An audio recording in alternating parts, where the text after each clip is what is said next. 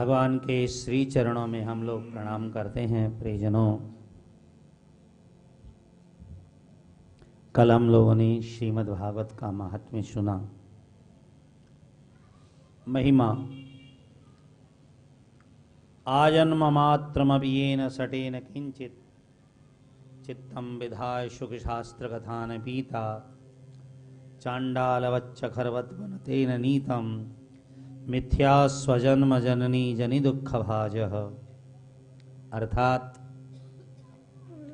मनुष्य का शरीर लेकर के जिसने भगवान की कथा नहीं सुनी, मानो पशुओं की तरह, जीव जानवरों की तरह अपना ज़िंदगी, जीवन बेकार खो दिया। अखिल भुवन अध्यय निर्धनास्ते भी धन्य इस धरती पर वो गरीब भी धन्य है। कौन गरीब? निवसती हृदय श्री हरे भक्ति रेखा जिनके हृदय में भगवान की भक्ति रहती है, वो गरीब भी धन्य है। क्यों? क्योंकि हरिरपि निजलोकम सर्वदा तो विहाय। भगवान हरि अपना वैकुंठ छोड़ करके उनके हृदय में रहते हैं तो गरीब की जगह दुनिया के लक्ष्मीपति को अपने हृदय में रख करके वो गरीब धन्य है, जो भगवान की कथा सुनते हैं। असारे संसारे सारे संसार के अंदर भागवत सार है। महात्म के कुछ श्लोक थे, परीक्षित साक्षी या श्रवणगत उत्तिक्त कथन है। हमारी मुक्ति के अंदर महाराज सुखदेव जी कहते हैं, परीक्षित की साक्षी है, सात दिन में मुक्ति हुई। परीक्षित ने कहा, यदि सात दिन में मुक्ति न हो तो मैं साक्षी हूँ, मैं तुम्हें दिलाऊँगा मुक्ति अब हम लोग श्रीमद् भागवत की शुरू करते हैं। भागवत का अक्षर, पहला अक्षर जैसे शुरू होता है। जन्माद्यश्य संस्कृत भाषा में एक थोड़ी सी में बहुत बड़ी बात भरी रहती है। जन्मात यस्य यस्य जन्मादि। जो भगवान जो हैं, जिनका जन्म नहीं हुआ है। जिस भगवान का जन्म नहीं हुआ है, पर जिससे हम सब जन्मे हैं। समुद्रो ही तारंग न च समुद्रो तारंग। तरंग से समुद्र थोड़ी है। समुद्र से तरंग है। इसी तरह हमसे भगवान नहीं है, हम भगवान से जन्माद्यश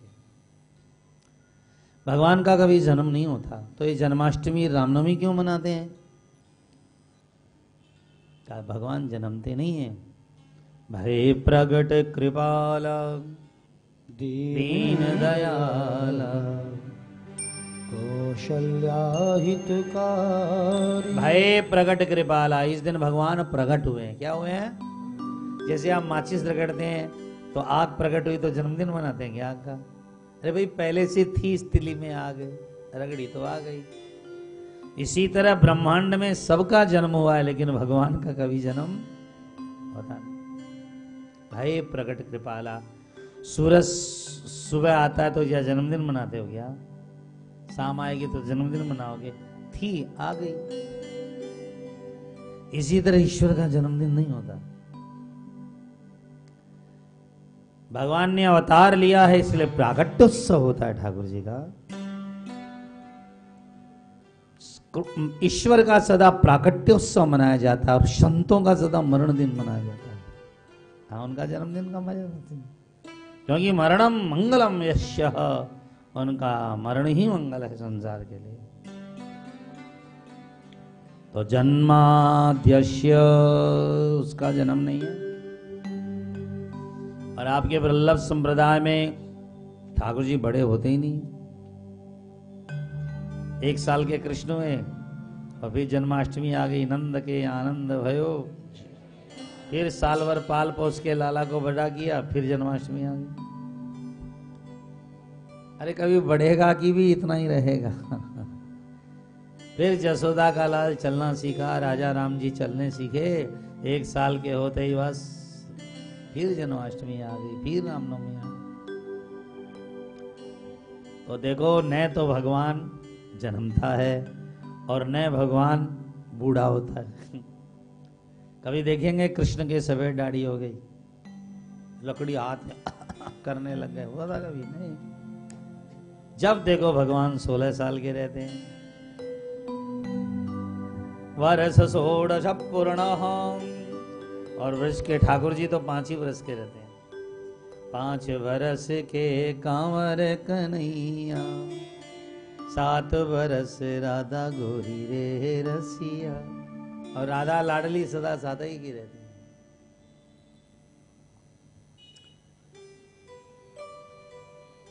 हम जन्मे हैं तो जवान हो रहे हैं, जवान हो रहे हैं तो बूढ़े हो रहे हैं और बूढ़े हो रहे हैं तो मरना पड़ता है। पर ईश्वर का जन्म ही नहीं हुआ तो जवान होने का, बूढ़ा होने का सवाल ही नहीं होता। इसलिए कोई कहे कि भगवान जन्मते हैं, मरते हैं तो ये बात हँसी की बात है। क्योंकि ईश्वर कभी जन्मता नहीं। कभी बूढ़ा हाँ लीला करने में कई जगह भगवान बूढ़े हो जाते हैं। और जयपुर में भगवान गोविंद देव जी का मंदिर है, बड़ा सुंदर। लाखों लोग दर्शन करते हैं गोविंद जी। एक बार राजा साहब जयपुर नरेश दर्शन करने आए। गोविंद देव जी का। तो पुजारी जी ने दोना में बढ़िया प्रसाद दिया राजा साहब को। राजा साहब घर गए तो प्रसाद में सफ़ेद बाल। बुलाओ पुजारी को। ये पूजा करते हो कि नाटक? पुजारी को लगा पचास साल की नौकरी भी गई और इज़्ज़त भी। किसका बाल है? और झड़ से निकल गया, मेरा नहीं गोविंद देव जी का बाल है तो। किसका बाल है? तो राजा साहब ने कहा गोविंद देव जी क्या बूढ़े हो गए? कहा, आपके दादाजी लाए थे, बूढ़े तो हो ही गए। अब बताइए, एक झूठ पे राजा ने कहा तो ठीक है, कल सुबह हम देखने आएँगे। गोविंद देव जी बूढ़े हो गए तो। ढंग से कीजिए, बाल कैसे आ जाएगा प्रसाद में? अब राजा से बात कौन करे? कल सुबह आएँगे। अब पुजारी रात भर, हे गोविंद, हे गोपाल, रात भर होते रहे। महाराज, एक गलती बोले कि दो गलती बोले। अब तो आप ही बचाओ। पचास साल की इज़्ज़त भी गई, नौकरी भी गई और राजा साहब ने कितना अपमानित होना पड़ेगा। रात भर गोविंद देव जी के सामने रोते रहे। सुबह राजा आया। और आया तो क्या देखा? भगवान के एक काली लटों में एक सफ़ेद लट भी लटक रही है। तो राजा ने कहा, देखा कि पुजारी जी की चालबाजी है। इन्होंने सफ़ेद रंग दिए या सफ़ेद लगा दिए? राजा साहब मंदिर के अंदर चले गए। मंदिर पुजारी जाता, राजा दो ही जाते। राजा ने जाके एक बाल खींचा। खींचना था कि बाल तो टूटा, लेकिन साथ में खून का छींटा भी है।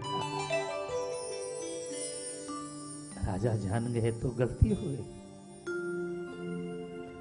और पुजारी जी भी हैरान हो गए, सारी बात कह दी, महाराज जी, मेरा ही बाल था वो तो मैं तो ऐसे मुँह से निकल गया। तो लीला में ठाकुर जी क्या होते हैं? बूढ़े भी हो जावे, जवान भी हो जाते हैं, और भाई, प्रग बच्चे भी हो जाते हैं। लेकिन न तो बच्चा है, न वो जवान है, न मुगड़ा है, क्योंकि जन्माद्यश्य उसका जन्म ही नहीं हुआ। ये श्रीमद् भागवत के अठारह हज़ार श्लोकों की पहली ईंट है, पहला श्लोक गज गजब, पूरी भागवत इसी पे कह देते हम लोग तो। जन्माद्यश्य। दूसरा शब्द यथोन्वयादि तरतश यहाँ भी है, वहाँ भी है। बहुत ही भारी मारा जाओ तेरी नहीं। यथोन्वयादि तरतश यहाँ भी है और वहाँ भी। हमारे ठाकुर जी कहाँ हैं? यतोन्मयादि यहाँ भी है और अभी फ़ोन करो, सूरज कहाँ है? कलकत्ता तो बोलेंगे, सिर पे है। दिल्ली करो तो सिर पे है। बम्बई करो तो अरे भाई, कितने ही सूरज हैं। अरे भाई, सूरज तो एक ही है, पर अभी तो इंडिया में है तो सिर पर है भारत में। तो ये तो उन्मयादि तरतस यहाँ वहाँ सब जगह रहता है। देखो, लोग कहते हैं, उसका असर यहाँ तक है, उनका असर। लोग कहते हैं उनका असर यहाँ तक है, उनका असर। पर सच बात यह है कि असर उनका वहाँ तक है, नज़र जिसकी जान तक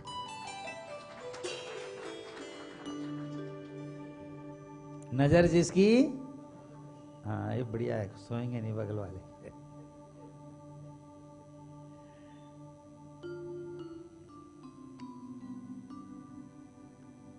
तो प्रेमियों जन्माध्यक्ष ईश्वर को समझो, सुनो ईश्वर जन्म गया, ईश्वर मर गया। आजकल कई लोग अपने को ईश्वर मानते हैं। तो अब भगवान लिखते हैं अपने पीछे, अब वो बूढ़े भी होते हैं सफ़ेद दाढ़ी भी हो जाती है और मर जाती है तो भगवान हुए क्या? आज के विज्ञान ने गजब कर दिया साहब। फूल में कीड़ा रहता है, ऐसा कीड़ा नहीं बना सका आज का विज्ञानी। मिट्टी का एक कण नहीं बना सका आज का विज्ञानी। लेकिन आज के आदमी ने भगवान ज़रूर हज़ारों बना छोड़े। अच्छा इंसान बनना बड़ा मुश्किल का काम है। भगवान बनना में क्या? आप दो, पाँच रुपया, पाँच हज़ार, पाँच, सात करोड़ रुपया खर्चा करो तो हम आपको भगवान बना दें। चैनल ले लीजिए और बस सौ आदमी को आप महीना देना शुरू कर दीजिए बस। दो सौ, चार सौ आदमी भगवान भगवान चमत्कार बोले, भगवान हो गया। हाँ कोई खर्चा करे तो टीवी आना से मिल सके। है टेलीविज़न वालों से मिल जाए वो दुकानें हैं ऐसी धंधे वाली। तो मेरे प्रेमियों, भगवान इंसान बनना मुश्किल और भगवान बनना सरल है। तो जन्माद्यश्य तो हम भागवत ही कहेंगे। भागवत जी सुनिए। तो भगवान यत, जन्माद्यस्य यतोन्मयादितरत चारथेष्वभिज्ञ अर्थेशु अभिज्ञ। रहता है सब जगह, पर दिखाई देता नहीं है। भगवान कहाँ है? जरा बता पाएँगे, गाय के अंदर दूध कहाँ रहता है? कोई बोले, थण में रहता है? ना ना ना। वो तो बछड़ा छोड़ते हैं, तब आता है। थण में नहीं रहता तो पावस्ती है तो आता है। गाय के दूध कहाँ रहता है? उत्तर है नस नस में दूध रहता है। इसी तरह ठाकुर जी कहाँ रहते हैं? नस नस में रहते हैं। इस दीपक को देखिए, किधर देख रहा है ये? दाएँ देख रहा है कि बाएँ देख रहा है? आगे देख रहा है कि पीछे देख रहा है? अरे भाई, चारों तरफ़ देख रहा है। बस इसी तरह। ईश्वर कहाँ देख रहा है, बोलो? चारों तरफ़ देख रहा है। ईश्वर करता क्या है? तो मेरे को ऊपर बिठा रखा, आपको नीचे बिठा रखता हो सकता है थोड़ी देर में आप ऊपर आ जाए नीचे चले यही करता, ऊपर नीचे बिठाता सब।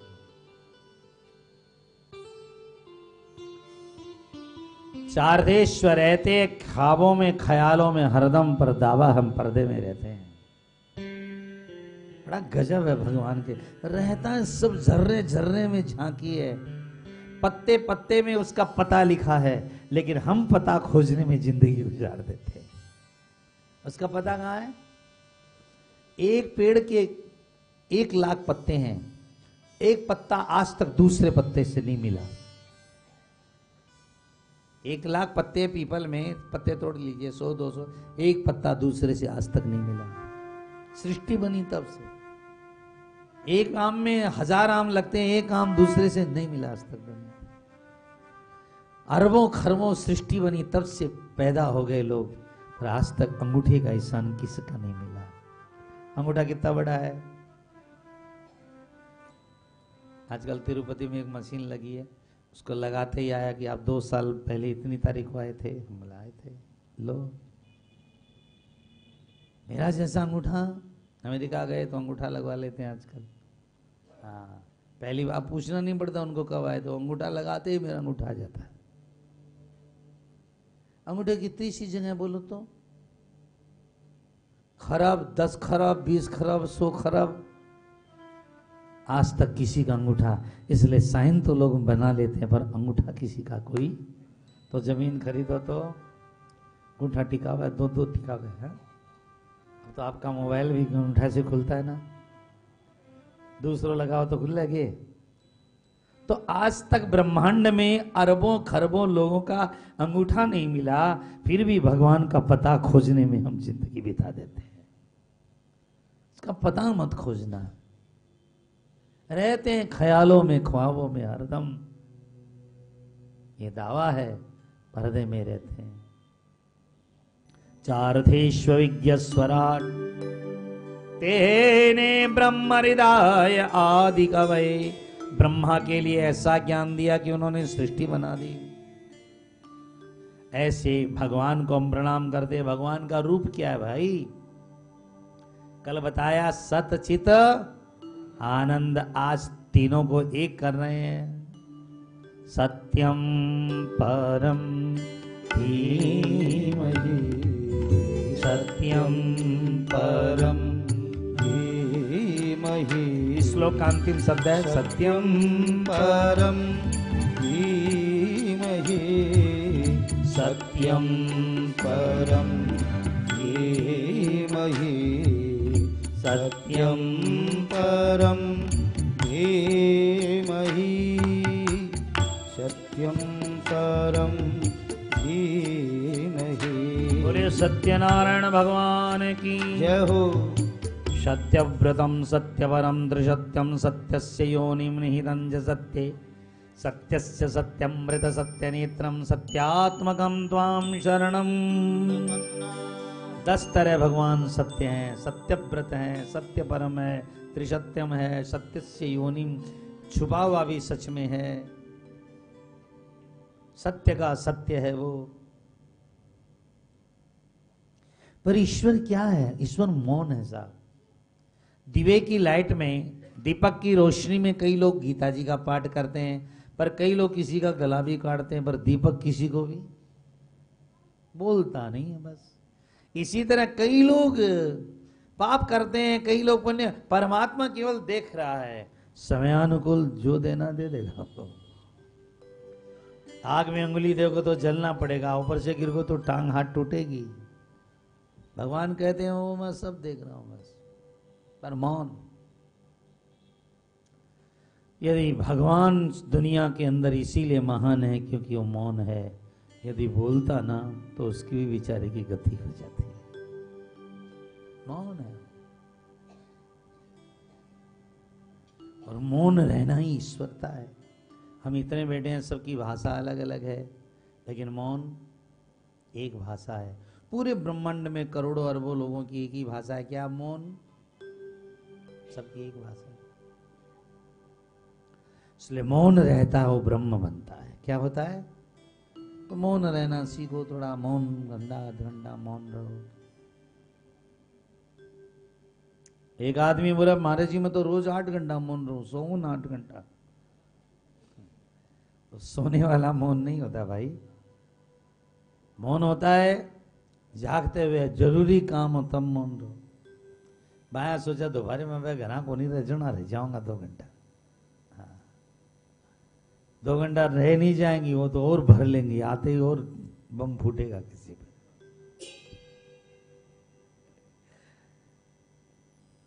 ये घुघरू घुघरू बहुत बोलते हैं। घुघरू बहुत बोलते हैं, इसीलिए सदा पाँव में पहने जाते हैं और बिंदिया मौन रहती है, इसीलिए माथे पर चढ़ जाती है। अब आप मौन की कीमत समझ लीजिए और बोलने वालों की कीमत समझ लीजिए। बोलने वालों की कीमत कहाँ है और मौन की कीमत कहाँ है? तो सत्यम परम धीमहि। तो ये भगवान के हमारे यहाँ चौबीस अवतार हैं। कितने अवतार हैं? चौबीस। पहले शुरुआत में भागवत में हम उनको गिन लेते हैं, उसके बाद उनकी लीलाएँ कहेंगे। जगृहे पौरुषम रूपम भगवान महदादिवीः सम्भूतं षोडशकल माधव लोक आप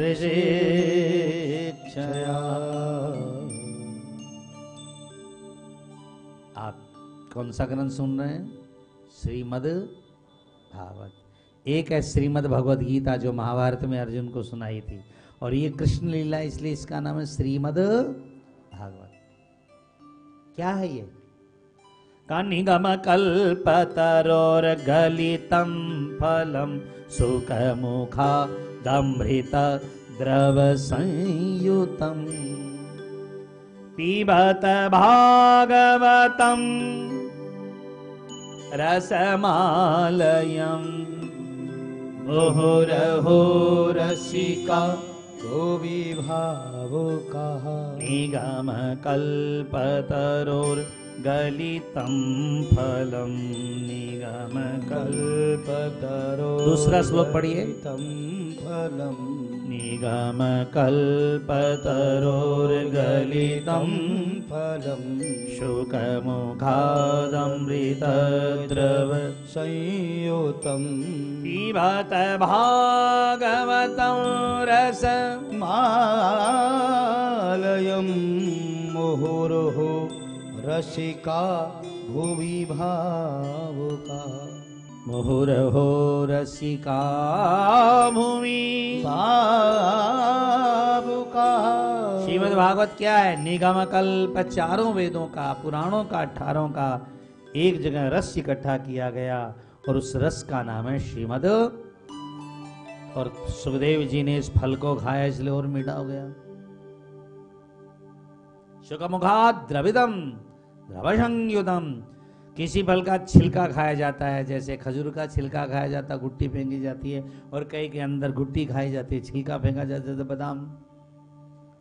लेकिन भागवत ऐसा फल है जिसमें न छिलका है न केवल रस ही रस है। इसलिए पीवा था पीवा था, पियो पियो पियो पियो। का कब तक पिए? का मालयम। जब तक भगवान में तुम लय नहीं हो जाते, तब तक पियो। एक बहन ने कहा, महाराज जी, मैं तो ग्यारस का उद्यापन कर लिया, प्रदोष का उद्यापन कर लिया, सोमवार का उद्यापन कर लिया और पूर्णिमा का उद्यापन कर लिया। अब राम राम कर रही हूँ बचपन से तो राम नाम का उजड़ा कैसे किया जाता है? हमने कहा, लोग उठा के ले जाएँगे, तब होगा। है, राम नाम, तभी जाकर उजड़ना। तब करोगे राम राम नाम का उजड़ना हो क्या ये उसका भी उद्यापन कर देंगे।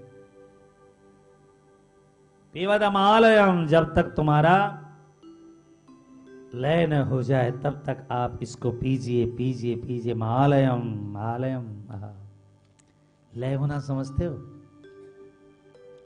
खो जाना।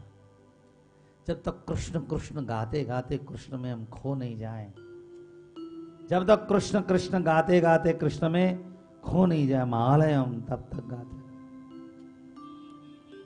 अब आपको ब्रज की एक कथा सुनाते हैं श्लोक के ऊपर बढ़िया। श्री राधा रानी की माँ, श्री कीर्ति जी ने एक दिन लाली से कहा, लाली, राधा हाँ मैया, कहा, एक काम कर। आज मेरे को बड़ो काम है गयो तो ठाकुर जी के लिए बढ़िया सा मक्खन मिलो ले। तो हंडिया रख दई और राधा जी को बिठा दी, पास में की दही डाल लियो बेटी, और दही अब राधा रानी बिलोने के लिए बैठी तो मन में आया शाम को खिलाऊँगी, श्याम आएँगे माखन दूँगी, वो करूँगी, वो तो सोचना पड़ेगा। आज मैं कहूँगी कि मैंने खुद बिलाया है, मैं खुद अपने हाथ से खिलाऊँगी कृष्ण को। श्री राधा जी इतनी तन्मय हो गई, एक घंटा बिलोती रही। और एक घंटा बाद में माँ आई, लाली, अभी तक मक्खन नहीं निकलेगे तेरो माँ ने आकर के देखा, अरे लाली, तू तो दही डालना ही भूल गई। आध घंटा से, आध घंटा से रगड़ रही है। कहाँ थी तू? श्री राधा तो भाग गई वहाँ से। कहाँ थी बताओ तो जरा। काना में इसी तरह कृष्ण कृष्ण गाते गाते खो जाओ ना, तब तक पीना भागवत।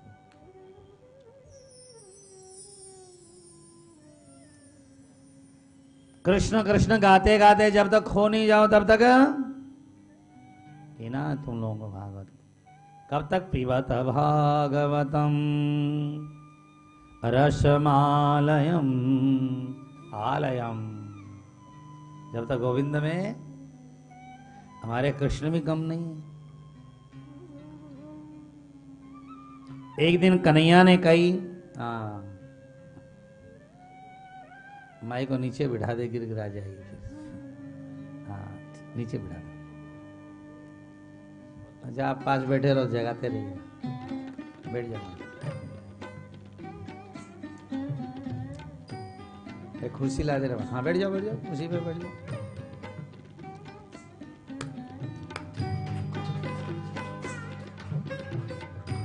एक दिन कन्हैया ने कहा, आज दूध हम निकालेंगे।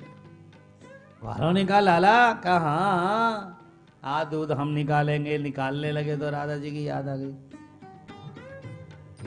श्री राधा जी उस दिन दूध निकाल रही तो पास में खड़ी थी। बछड़ा पकड़ के, और मैंने छीन की थी, छोड़ दे बछड़ा।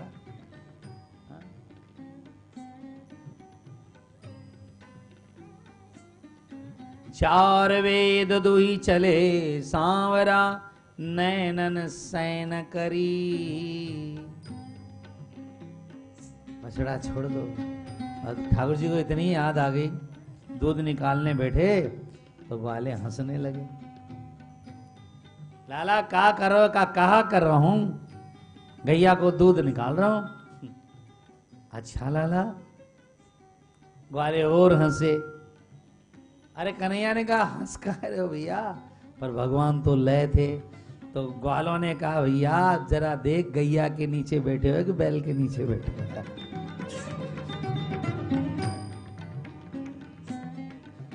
ठाकुर जी तो ऐसे शर्माए के भागे, अरे मैं तो राधा रानी में खो गए अरे भैया। यहाँ को कहा बोलो जाए भैया? लय होनो। पिबत भागवतम रस। कृष्ण कृष्ण गाते गाते जब तक कृष्ण नहीं बन जाओ, राधा राधा गाते गाते जब तक राधा में नहीं समा जाओ, तब तक नी पीबत भागवतम।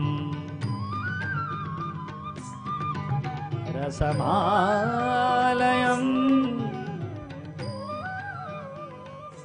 मोहरहो रसिका, बार बार बार बार पियो। महाराज जी पिछले साल तो सुनी थी महाराज, कराई थी, आज भी सुना। अरे पीबाता पीबाता, रोटी रोज खाओ, पानी रोज पियो, श्वास रोज लो तो ठाकुर जी की तब तक पीना, जब तक तुम उनसे लहने हो जाओ। ऐसी क्या ये भागवत का निगम कल्पतरुर गलितम? फलम, निगम कहते हैं वेदों को।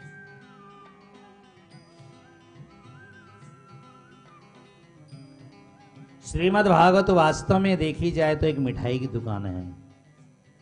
जैसे मिठाई के ऊपर लिखा था ना, कृष्ण मित्र, कृष्ण भंडार, राम भंडार, ओ भंड माधव भंडार, ऐसे ही इस दुकान पर लिखा है श्री कृष्ण वितरण भंडार।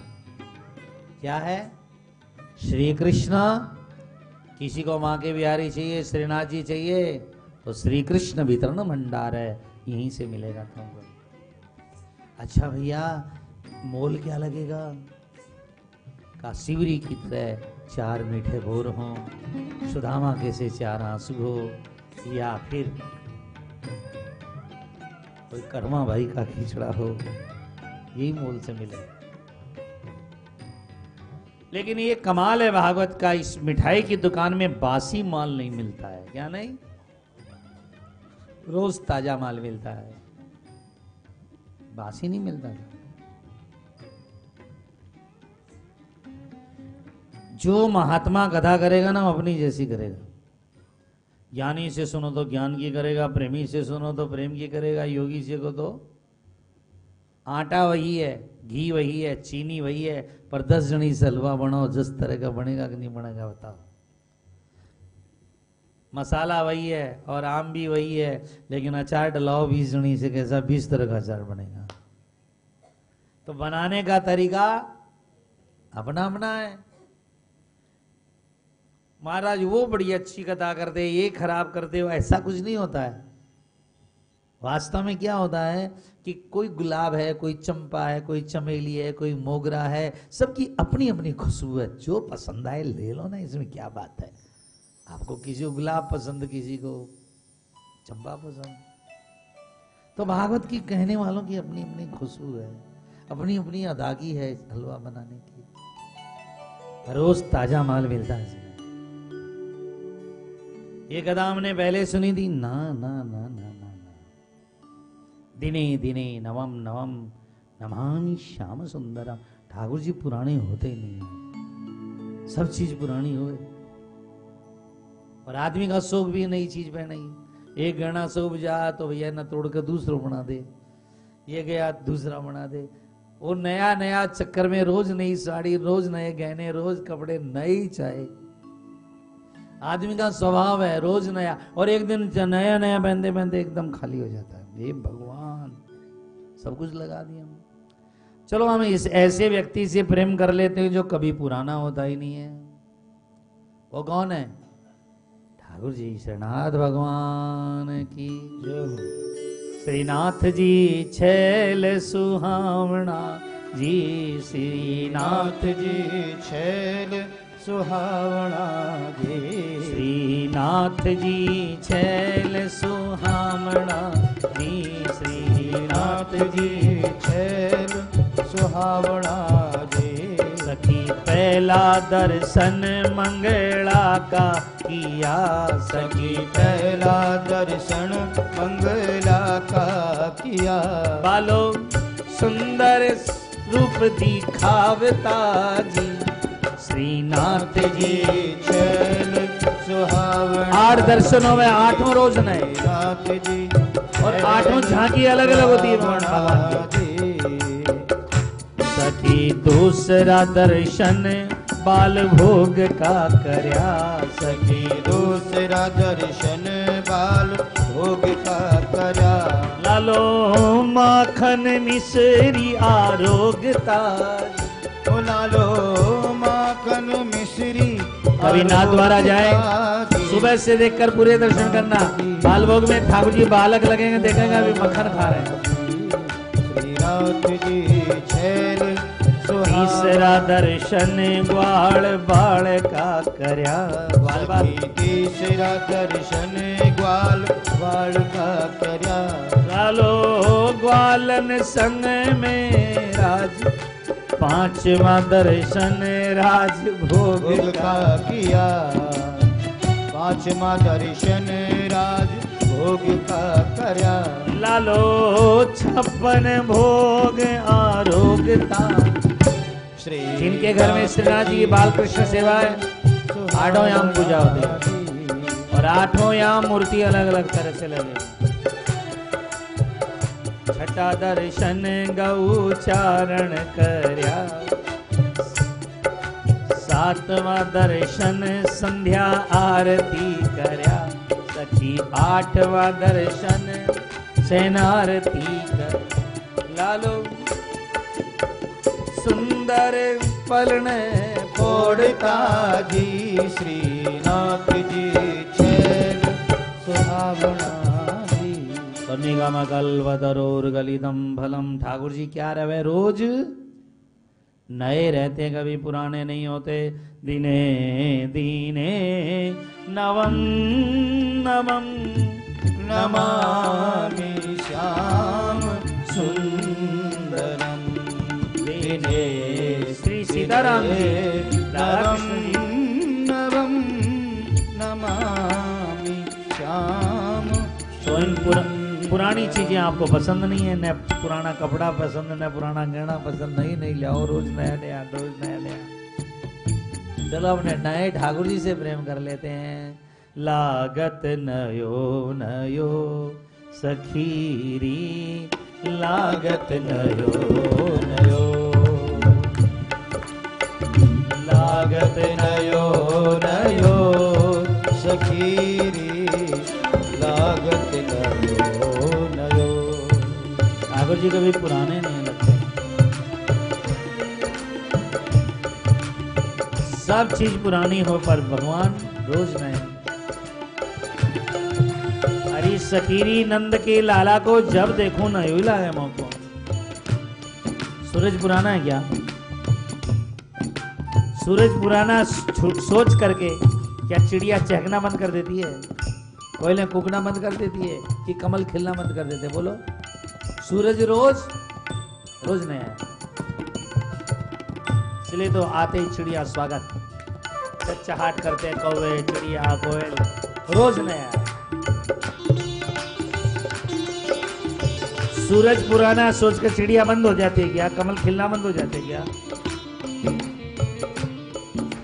मूर्खों का कैलेंडर में साल बदलती है। आज अंग्रेज़ों का नया साल, आज बंगालियों का नया साल। आज गुजरातियों का नया साल है आज हिंदुओं का नया साल है। यहाँ तो रोज ही नया साल है।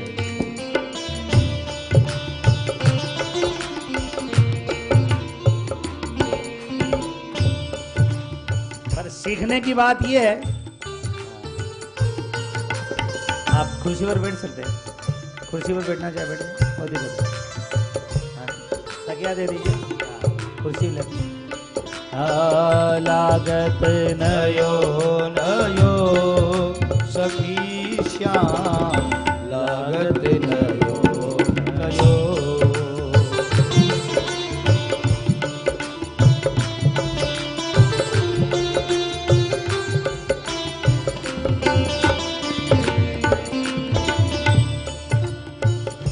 हर साल पत्ते नए हो जाते हैं पेड़ों के। नदियों का पानी नया होता है। फूल नए होते हैं। पर ये आदमी बेकार कहीं का। जब देखो वही पुरानी घिसी बाट उनके यहाँ से चार रसगुल्ला आए थे अपने छोरे ब्याह में चार ही देना है। हे भगवान! उनके यहाँ से एक, साड़ी आई तो अपने को एक ही देनी है। उसके ब्याह के अंदर ये आया था। वही सड़ी गली पुरानी बातें।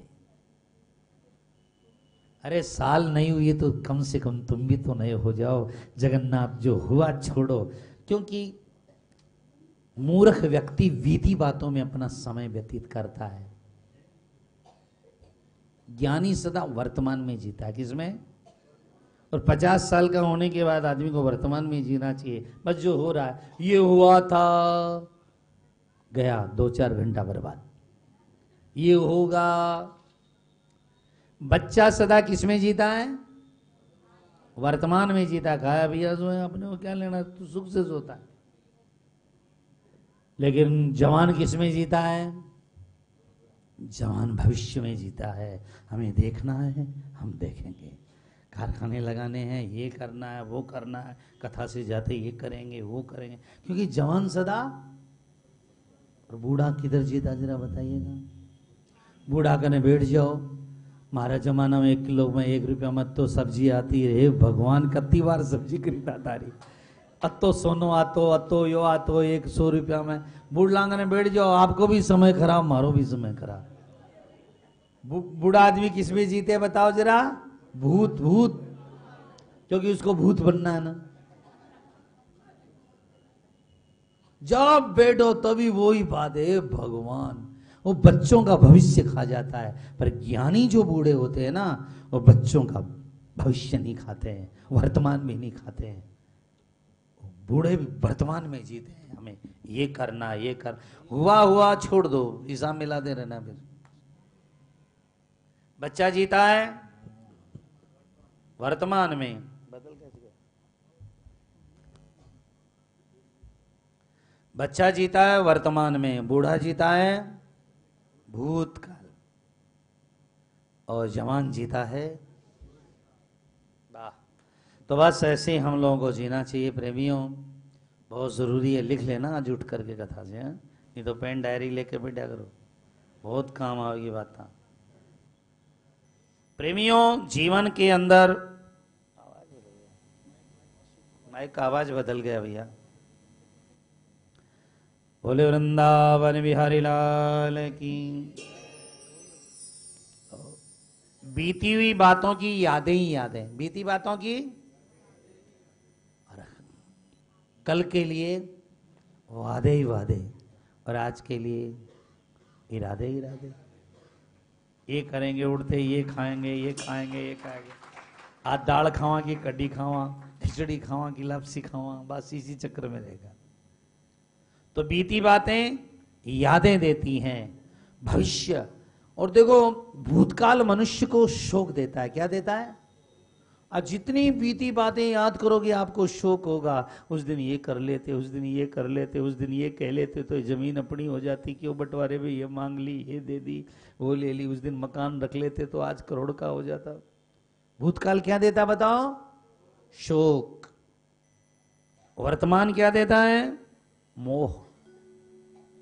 अर्जुन को क्या हुआ था? मोह। वर्तमान मनुष्य को क्या देता है? मेरा बेटा, मेरा पति, मेरा भाई, मेरा मेरा मेरा मेरा। लेकिन भूत का भविष्य क्या देता आदमी को? भविष्य भय देता है। दुकान ने चली तो कारखाना ने चला तो ये काम नहीं हुआ तो। भूतकाल सदा मनुष्य को शोक देता है, वर्तमान सदा मनुष्य को मोह देता है, और भविष्य सदा आदमी को भय देता है। आदमी शोक में, मोह में और भय में जीता जीवन भर। भागवत का कहना, तुम एक बात मान लो, जो हुआ अच्छा हुआ, जो हो रहा अच्छा हो रहा है, और जो होगा, बस फिर तो मौज ही हो गई, बस। ठाकुर जी, जो करो, चोख हो है? और जो करेगो, मौज ही मौज हो गई। पर इसमें जीना सीख लो तो ये फिजूल आँसू बहना बंद हो जाएँगे। वर्तमान बहुत सुंदर है। हमारा वर्तमान ही हमारे को बताएगा तुम भविष्य में क्या बनने वाले हो। वर्तमान ही बताता मनुष्य को। तो बीती बातें, शोक ही शोक। और जिको बूढ़े सदा भूतकाल में जीते हैं। और जिनके मैं देखता हूँ जीवन में, जिनको भूत लग गया है ना, बेचारों की बड़ी दुर्दशा है। जिसके पीछे भूत लग गया ना, जैसे भूतपूर्व प्रधानमंत्री भूतपूर्व राष्ट्रपति भूतपूर्व नेता, भूतपूर्व अभिनेता क्या दुर्दशा बेचारे सड़क पर पान खाने भी नहीं निकल सकते। यही है कि वो प्रधानमंत्री सड़ रहे हैं, घरों में पड़े पड़े। क्या लगे उनके पीछे? भूत। उन नेताओं की दशा कभी देखना जा करके जिनके पीछे? या वो हीरो हीरोइन की बम्बे में हम तो जाते हैं सौ से ज़्यादा कथा हुई। उनकी दशा देखना घर से नहीं निकल पाते बेचारे। क्या लग गया? आप लगाना चाहोगे? ना ना। ओ, एक राजा है और राजपाट तो चले गए, बीकानेर के राजा है, जोधपुर के राजा, उनसे मिलो, बेचारे कहीं निकल नहीं सकते, जा नहीं सकते, आ नहीं सकते, घूम नहीं सकते। क्या लगा हुआ पीछे?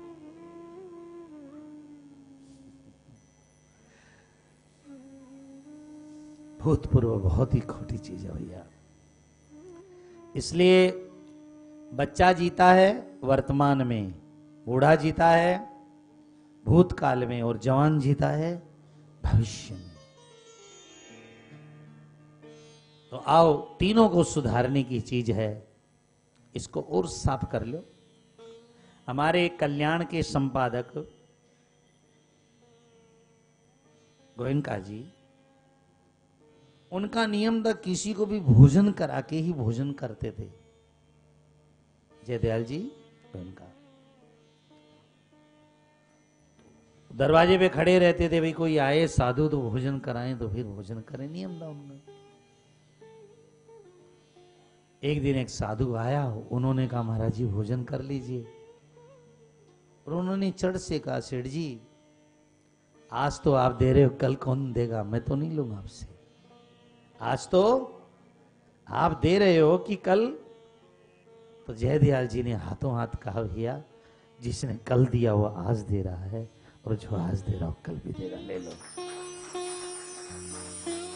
गृहस्थ में रहकर इतना बढ़िया साधु। क्या कह रहा है? अब अपनी इतनी चिंता बिगर में कर रहे हैं साहब। जो कल दिया वो, जो आज दिया वो, भूत भविष्य वर्तमान सब ठीक हो गया ऐसी ज़िंदगी जीना सीखो। मेरे को महाभारत का एक प्रसंग बहुत अच्छा लगता है। अर्जुन सो रहा है। अर्जुन और श्री कृष्ण पास में बैठे रो रहे हैं। क्या दृश्य है देखिए। अर्जुन सो रहा है श्री कृष्ण रो रहे हैं।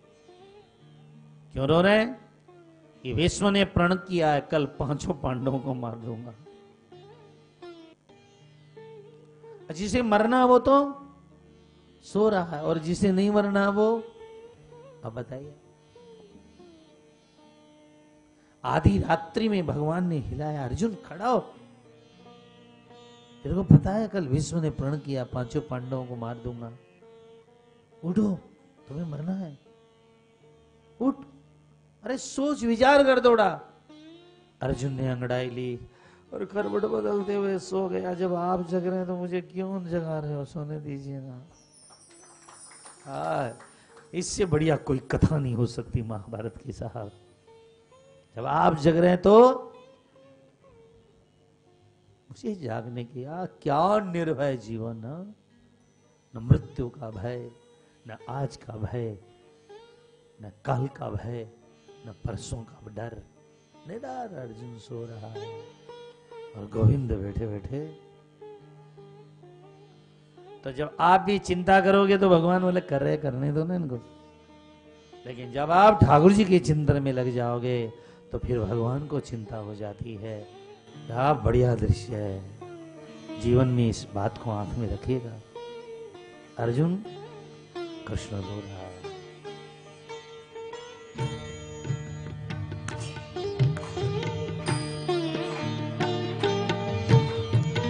मरने वाले को चिंता नहीं है। अमर को चिंता हो रही है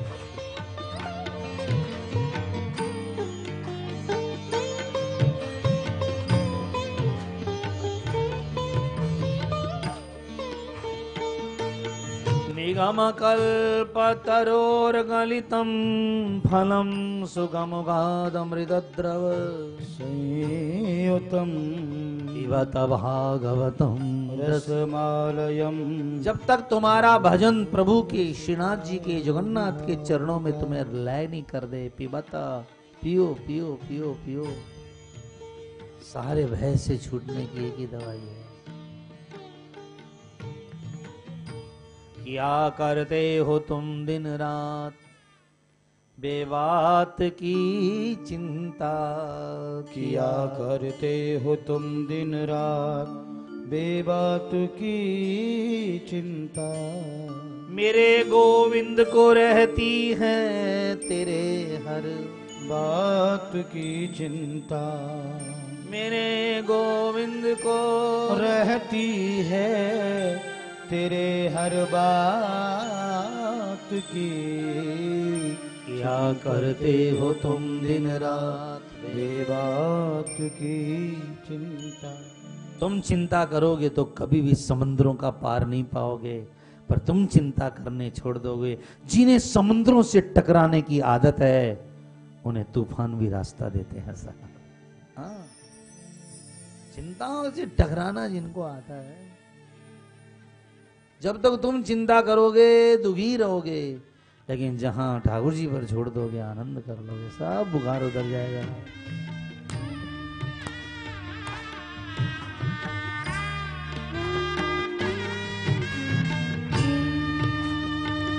निर्भय होकर श्रीनाथ जी का ध्यान कीजिए।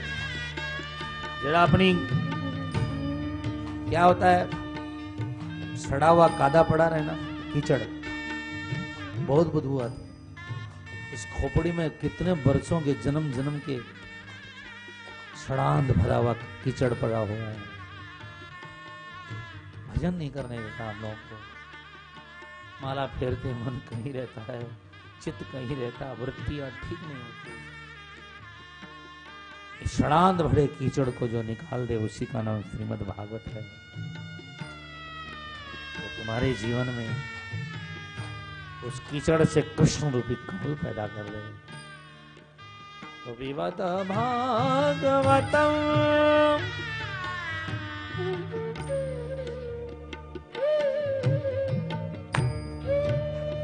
तुम्हारी आँखों में कदा सुनते समय बांसुरी बजाते हुए गोविंद रहने चाहिए। आँख खुली हो, ईश्वर का ध्यान हो, इसी का नाम भागवत है। आँख बंद करके नहीं।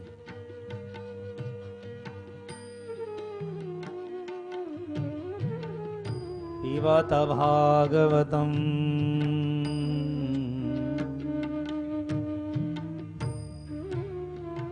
यथा वह्नितो वह्निर्दारुस्वेगेव स्वयोनिषु। नानेव भाति विश्वात्मा भूतेषु च तदा पुमान। अग्नि वस्तुतः एक है, परंतु अनेक लकड़ियों में अनेक दिखाई देती है। वैसे भगवान सबके अंदर एक है, पर अनेक दिखाई देता है। बस। भगवान ही सूक्ष्म भूत तन्मात्रा है, वही इंद्रिय है वही अंतकरण है, वही विकार भावों के द्वारा नाना प्रकार की योनियों का निर्माण करते हैं। वही लीला करने के लिए रूप धारण करते हैं। पहला अवतार भगवान का है सनक सनंदन सनातन और सनत कुमार। ब्रह्मा ने कहा सृष्टि बनाओ इन्होंने, तप किया। बोलिए, सनत कुमार भगवान की जय। सनत कुमार। द्वितीय शौकरम बपू दूसरा अवतार शुक्र अवतार। जिन्होंने पूरे ब्रह्मा इस पृथ्वी को दांडों पर उठा करके हिरण्याक्ष का वध किया। तीसरा नारद अवतार घर घर जाकर श्रीमन नारायण नारायण। नारायण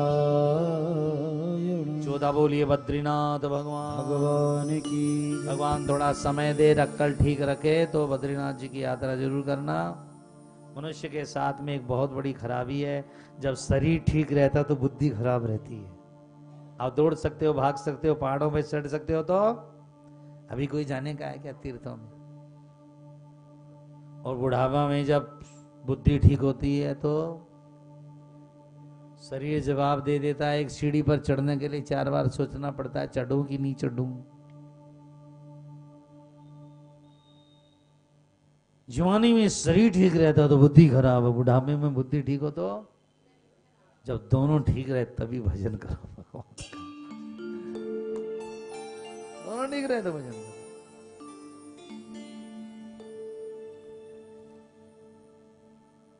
नर नारायण भगवान बद्रीनाथ में तप करे, पांचवा अवतार, और तीरथ बार बार, गंगा सागर। ये पांचवा अवतार है प्रभु। छठा दत्तात्रेय भगन करके भगवान ने चौबीस गुरुओं का ज्ञान दिया लोक के लिए। चौबीस गुरु बनाए ठाकुर जी ने दत्तात्रेय भगवान। सातवां यज्ञ नारायण भगवान। पहले देवताओं को भोजन नहीं मिलता था, रोटी खाने को नहीं मिलती थी, हनुमान जी भूखे, सूर्य भूखा, चंद्र भूखा तो क्या करे? तब भगवान ने देवताओं को भोजन कराने के लिए यज्ञ का रूप धारण किया। आप अग्नि जला करके जिस देवता के नाम से दोगे, उसको भोजन मिलेगा। भगवान ऐसे ऐसे नहीं खाते देवता लोग, अग्नि में ऐसे देवताओं को भोजन कराने की तीन जगह जो अपने पितरों को, अपने देवताओं को, अपने कन्हैया को भोजन कराना चाहता है, उनको तीन जगह भोजन कराना चाहिए। देवता या तो अग्नि के मुँह से खाते हैं, स्वाहा स्वाहा, या फिर गाय के मुँह से खाते हैं। गाय को खिला दो, तैतीस कोटि देवताओं को भोजन पहुँच गए। देवता तृप्त गायें कमज़ोर हो जाएँगी तो देवता भी कमज़ोर हो जाएँगे, फिर दुष्टों को मार नहीं पाएँगे। इसलिए अग्नि मुँह से खाते हैं, गाय के मुँह से खाते हैं, तीसरा देवता ब्राह्मण मुख से खाते हैं। किसे? आप आए हो, जगन्नाथ जी ब्राह्मण भोजन कराओ, जगन्नाथ को पहुँच जाएगा हाँ ब्राह्मण मुख से। तो इसलिए श्राद्ध हो, कोई सुंदर कर्म हो तो आप ब्राह्मण को भोजन कराओ क्योंकि ईश्वर तीन मुखों से भोजन करता है, ब्राह्मण के मुख से, अग्नि के मुख से और गाय के मुँह से। इसलिए तीन का हिंदू संस्कृति में बड़ा सम्मान है। पूरे जहाँ भी हैं, इन तीन के द्वारा आज पूरे विश्व में, हमें तो सोचता था यज्ञ यही होता है हमारी तो बहुत ही यात्राएँ हुई जीवन भर। तो देखिए, पूरी दुनिया में यज्ञ होता है। यज्ञ कर्म समुद्भव, यज्ञ बहुत ज़रूरी है, यज्ञ नारायण। कई बार बच्चे कहते हैं, माँ, क्यों भगवान के आगे भोजन लगाती है? भगवान तो खाते नहीं है। तो बच्चों को बिठा के हवन में बिठाना चाहिए क्या अब डाल रही हूँ, बता, कहाँ जा रहा है? कितना मन डालना है, बता। तो थोड़ा समझना चाहिए, यज्ञ परमात्मा का रूप है। यज्ञ में डाला हुआ, अग्नि में डाला हुआ ईश्वर को प्राप्त होता है। यज्ञात भवति पर्जन्यो। गीता कहती किसी के घर में धन की, दौलत की, पैसे की बरसात हो रही है तो ज़रूर वो यज्ञ कर रहा है। क्योंकि बरसात यज्ञ से ही और किसी से बरसात नहीं होती, सुख की, समृद्धि की। ऐसे अग्नि परमात्मा का रूप है। एक लड़का दीपक जला हुआ लेकर के जा रहा था। दीवा जला हुआ लेकर जा रहा था तो सामने एक अहंकारी सन्यासी मिल गया। और अहंकारी साधु ने कहा, बालक की तरह बता, इस दीवे में जोत कहाँ से आई? दीपक में, जोत कहाँ से आई? वो बेचारा, परेशान। बोले, महाराज जी, मेरे को तो पता नहीं, का इतना मूर्ख है कि आज तक तेरे को पता नहीं। अरे, दीपक ले जा रहा दीपक में जोत कहाँ से आई? लड़के को अक्कल आ गई, उसने फूंक मारी वो दीवा बुझा दिया कहा, ये बताओ गई कहाँ? पहले ये बता कि अब वो साधु परेशान हो गया, हे भगवान। क्या करें, अब गई कहाँ? बोलो। लड़के ने कहा, मैं बताऊँ? कहा, क्या बताया कहा मैं बता सकता हूँ? कहा, क्या? कहा, जहाँ से आई, वहीं गई।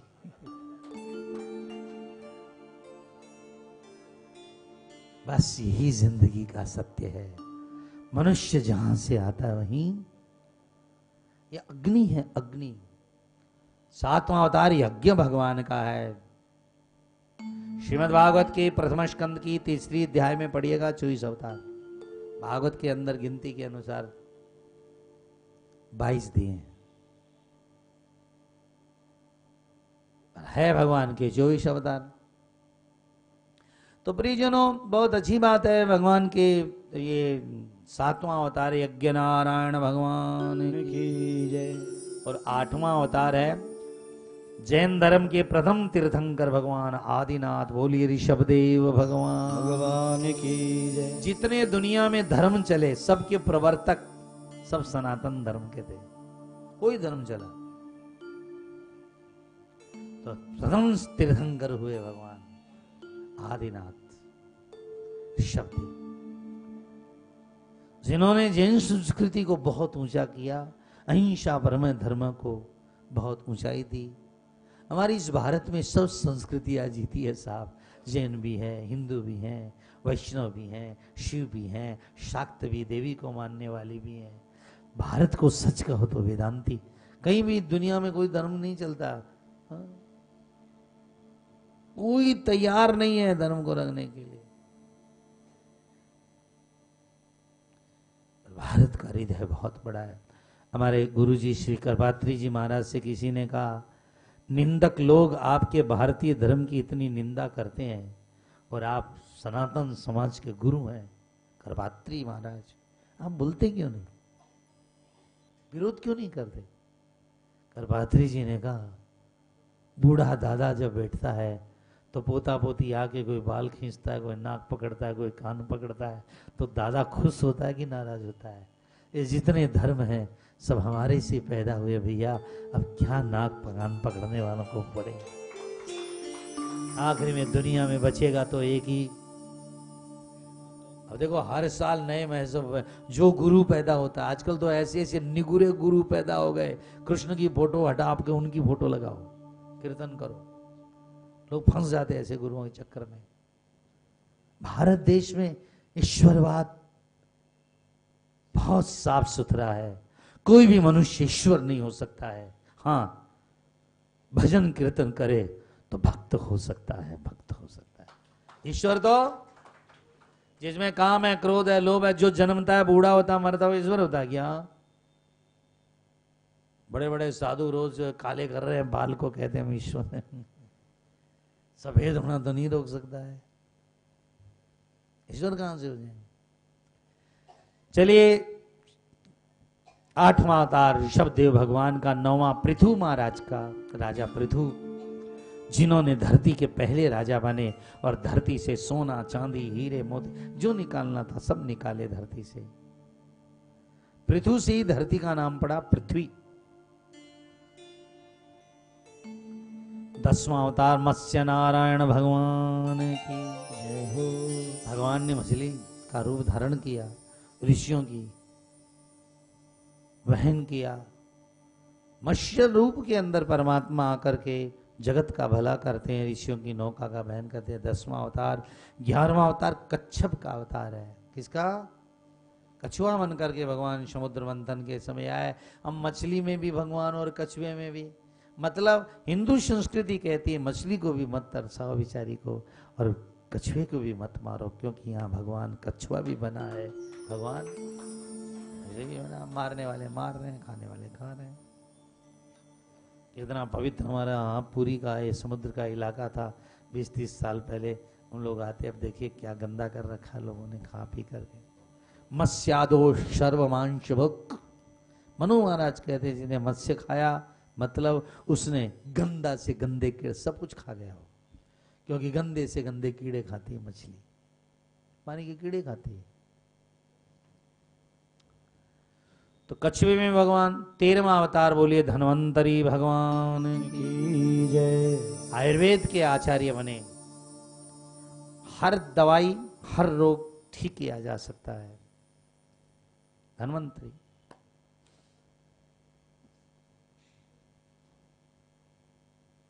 भगवान श्री धन्वंतरी का बना और चौदवा अवतार मोहिनी भगवान की। मुनि बन करके भगवान ने देवताओं को अमृत पिलाया। पंद्रहों में भामन भगवान की। सोलवा अवतार परशुराम महाराज की जय। सत्रहवें अवतार में वेद व्यास भगवान की उन्होंने अठारह पुराण लिखे। अठारहवें अवतार में राजा रामचंद्र भगवान की जय। उन्नीसवा अवतार बोले बलदेव भगवान। भगवान की जय? दाऊ दयाल की। जय हो। दाऊ जी भी अवतार में।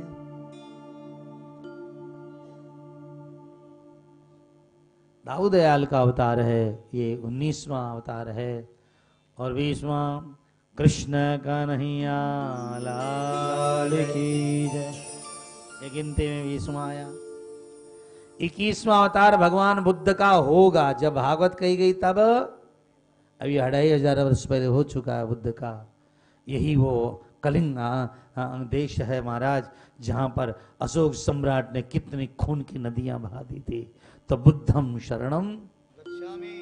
उस समय ऐसा आ गया था, बुद्ध ने ऐसा कर दिया था। हालाँकि शंकराचार्य ने बुद्ध धर्म को फिर भगाया यहाँ से।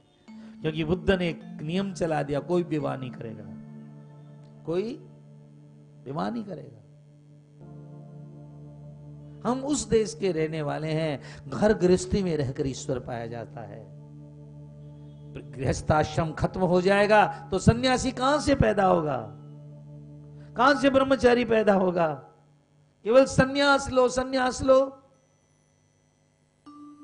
गृहस्थी से ही तो साधु है, संत है, महात्मा है, पंडित है, ज्ञानी है, राम है, हनुमान है। जब हिंसा बढ़ जाती है, चारों तरफ़ खून बढ़ जाता है तो बुद्ध चाहिए। दस अवतार में बुद्ध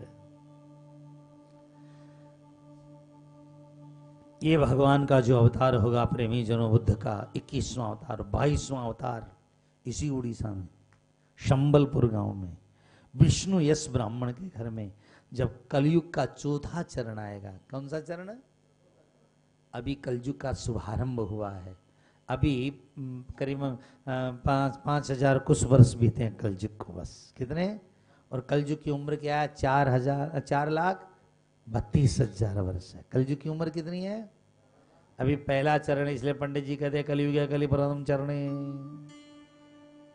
और ये धरती बनने के बाद कौन सा कलयुग आया? है भारतीय ज्ञान को पंडित जी रोज कहते हैं अष्टाविंशति तमे कलयुगे अट्ठाईसवां कलयुग आया है। हमारे ऋषियों ने सब नाप के छोड़ दिया तेरे मर्ज़ी हो कर ले। सूरज इतना दूर है इतना बड़ा है च मंगल इतना बड़ा है ये ग्रह है ये लाल माटी है वहाँ की बृहस्पति पीला है इतना ग्रह उपग्रह इतनी लाख योजन का विस्तरण है। ऋषियों ने मुनियों ने सब नाप के रख दिया विज्ञानी नापते रहो ज़िंदगी में। तुलसीदास ने एक पंक्ति में कह दिया युग सहस्त्र योजन पर हाँ, तेरे को नापना नाप ले। पूरी धरती को नाप दिया ऋषियों ने। मंगल, बुद्ध, बृहस्पति, शुक्र।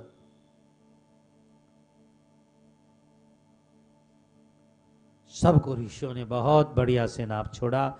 मेरे प्रेमी जनों भगवान बुद्ध कलयुग का जब आगमन होगा तो कल की भगवान का अवतार होगा। घोड़े पर बैठ कर आएँगे, दुष्टों का वध करेंगे, सबकी शक्तियाँ खत्म हो जाएँगी। तेईसवां हंस का, जब ब्रह्मा जी मोहित होंगे तो हंस बनकर भगवान ज्ञान देंगे। और चौबीसवां हयग्रीव भगवान की जय। हयग्रीव राक्षस जिसका सिर रहता है घोड़े का, शरीर रहता आदमी का, वह कहता मेरी मृत्यु हयग्रीव से होनी चाहिए। तो भगवान घोड़े का सिर बना करके प्रकट होते हैं। देवी भागवत की कथा है ये। और आखिरी में भगवान ने हयग्रीव राक्षस का वध किया। हयग्रीव राक्षस ने क्या किया था? सारे वेदों को समुद्र में डुबो दिया था वेद मंत्रों को। वेद मंत्र किताबों में नहीं थे, समुद्र की लहरों में थे। तब भगवान हयग्रीव आए और वो घोड़ा बनकर आए ना, उन्होंने अपनी पूंछ से समुद्र की लहरों से मंत्र वापस उठाए। किसे उठाए? अपनी पूंछ से वेद मंत्र उठाए और वेद मंत्र नहीं उठाए, चारों वेद स्थापन किए उन्होंने। बोलिए है ग्रीव लेकिन हाँ घोड़े के पूंछ में कमाल आ गया। उसी से तो उठाया गया। इसलिए विश्व पूरे ब्रह्मांड विश्व में कहीं भी आप वायलिन बजाएँगे तो घोड़े के पूंछ के तारी होंगे वो। हाँ आप अपने गाँव के अंदर सबसे रुला देने वाला जो वाद्य बजता है, किसे बजता है? घोड़े की पूछ के बाल होते हैं और किसी से ऐसा शब्द निकल ही नहीं सकता। शरोद बजाइए तार वीणा बजाइए। उसमें किसके बाल लगते हैं? अपने यहाँ तो क्या है, अपने यहाँ तो उच्चारण है। क्या है? अब लोग उच्चारण करते हैं, गणानंदवा गणपति गुंग पर दक्षिण भारत में उसके ऊपर गान करते हैं। गणानंतवा गणपति गुंग हवामहे प्रियानंतवा प्रियपति गुंग हवामहे निधे नान्त्वा निधे पति गुंग हवामहे बसो मम आहमजानि गर्भधमात्वमजा। सि गर्भधम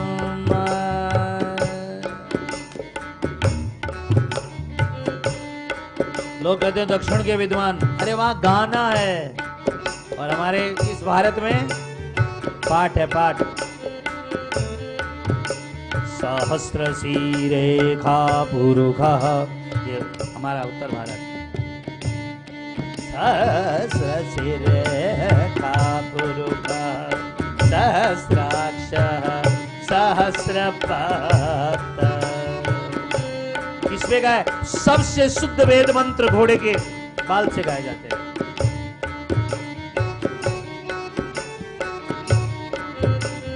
अब इलेक्ट्रिक यंत्र आ गए उनकी छोड़ दीजिए।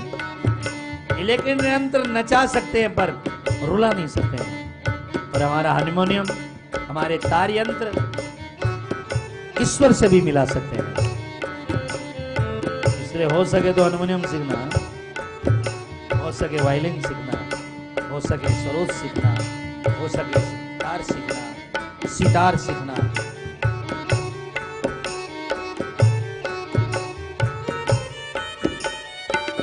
तो घोड़े के पूंछ में कमाल आ गया।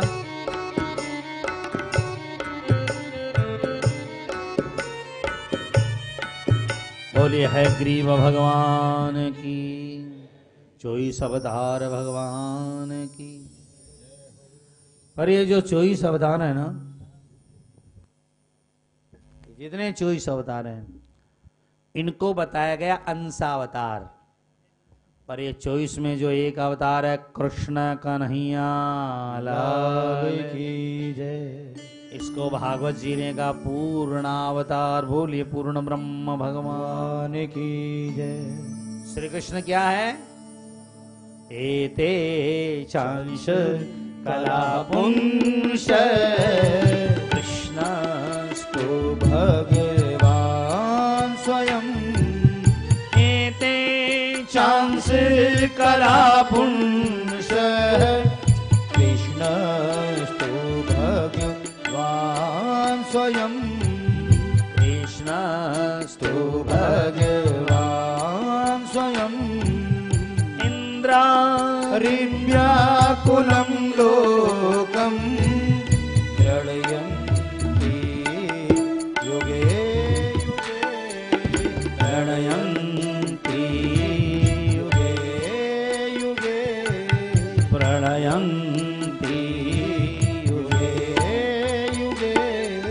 आप सीधे देखिएगा, कृष्णस्तु भगवान, स्वयं भगवान क्या बताइए जरा?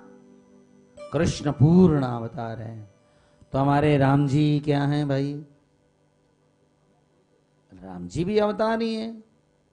लेकिन कृष्ण जी, जैसे एकम का चाँद चाँद होता ना, दूध का चाँद चाँद है, तीज का चाँद भी, फल पूर्णिमा का चाँद, पूरा चाँद। इसलिए जितने अवतार हैं, कोई एक कला, कोई दो कला, कोई तेरह, राघव जी तेरह कला के हैं और हमारे कृष्ण सोलह कला से हैं। चाँद तो चाँद ही है, चाँद में कोई फ़र्क नहीं है। पर छोटे बड़े की बात है। पर इसके अंदर कोई लड़ाई झगड़े वाली बात नहीं है। किसी ने तुलसीदास जी से कहा, आपके राम जी तो तेरह कला के हमारे कृष्ण जी सोलह कला के हैं। तुलसीदास जी ने हाथ जोड़ के कहा, भैया, बड़ी कृपा की। आज तक तो सुना था कि राम एक राजा का बेटा है, पर आज ये पता चला, मेरे रघुनाथ तेरह कला के भी हैं। वाह वाह, बड़ी कृपा की। हाँ बड़े खुश हुए तुलसीदास जी। राघव जी में कोई कमियाँ हैं क्या? कोई कमी नहीं है राम जी अब कुछ है सो तो है ही। कृष्ण पूरा है। चोर है तो बोलो बोलो। पूरा चोर है। आज तक उस चोर को कोई चोर तो बहुत मिलेंगे साहब आपको। पर कृष्ण जैसा चोर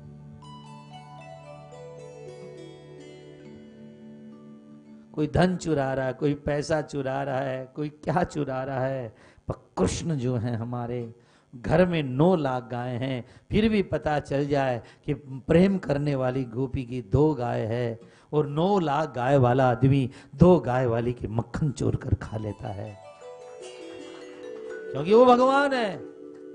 जिनके पास समुद्र जैसा दूध दही भरा होगा, वो दो गाय वाली के जाएगा क्या?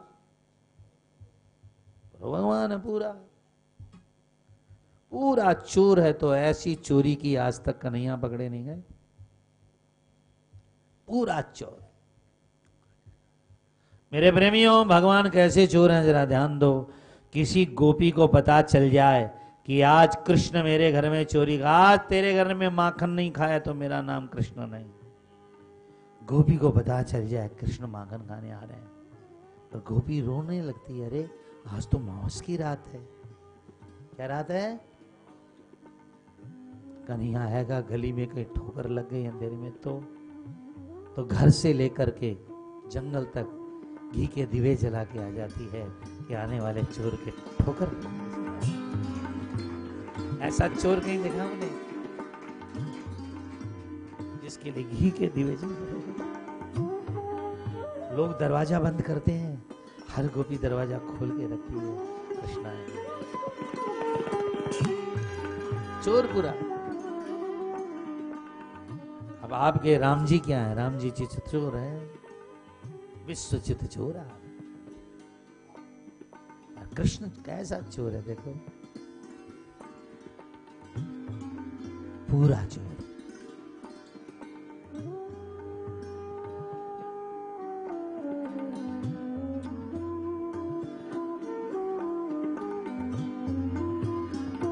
पापी ने के मैं पाप चुराऊं। पापियों के भक्तन को चित चोर जय जगन्नाथ। भक्तों का? मैं ही चोरी छोड़ दू तो कौन हरे दुख घोर। जगन्नाथ कहते हैं, मैं चोरी छोड़ दूँगा तो तुम्हारी तकलीफ़ कौन चुराएगा?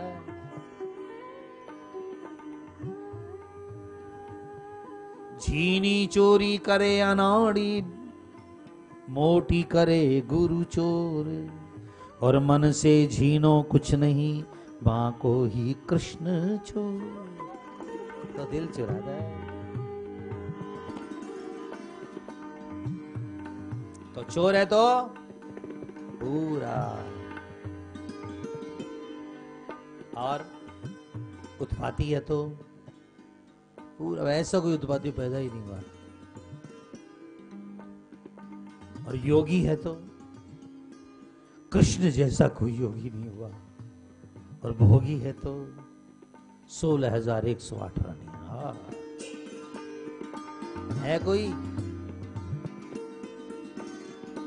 हाँ। छप्पन करोड़ यादों का राजा। पर कृष्ण का सुख रानियों में नहीं था। सोलह हज़ार एक सौ आठ रानियाँ थी तो आनंद था।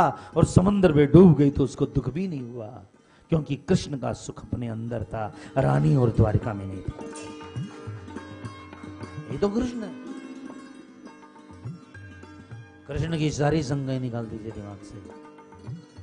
कृष्ण क्या है? सोलह हज़ार एक सौ आठ राज, सोलह हज़ार एक सौ राजकन्या भोमासुर राक्षस के जेल खाने में बंद। भगवान ने भोमासुर को मारा। लड़कियों के माँ से, बाप से, भाइयों से कहा अरे अपनी बेटियों को, बहनों को ले जाओ। पर बोले नहीं, कृष्ण, हम जेल खाने वालियों को नहीं ले जा सकते। अपने तो एक की जगह दो टावर हो जाए खाली का, और कोई पराया रहने लग जाए तो घर में आफत होती है। भगवान ने कहा, कोई बाप नहीं ले रहा, कोई माँ नहीं, कोई राजकुमार विवाह करने नहीं हुआ। और लड़कियों का दोस्त था और सुंदर थी, और भूमासुर ने जेल में आखिर में कृष्ण ही है ऐसा। बुद्ध की ताकत है क्या? बुद्ध तो कहता है, स्त्री को देखो तो कपड़ा डाल लो चेहरे राम कहते हैं, मैं तो दूसरा विवाह नहीं करता। कृष्ण ने कहा, जब तुम्हें कोई माँ, कोई बाप, कोई विवाह राजकुमार करने को तैयार नहीं तो चलो, मेरी द्वारिका में तुम्हें जगह देता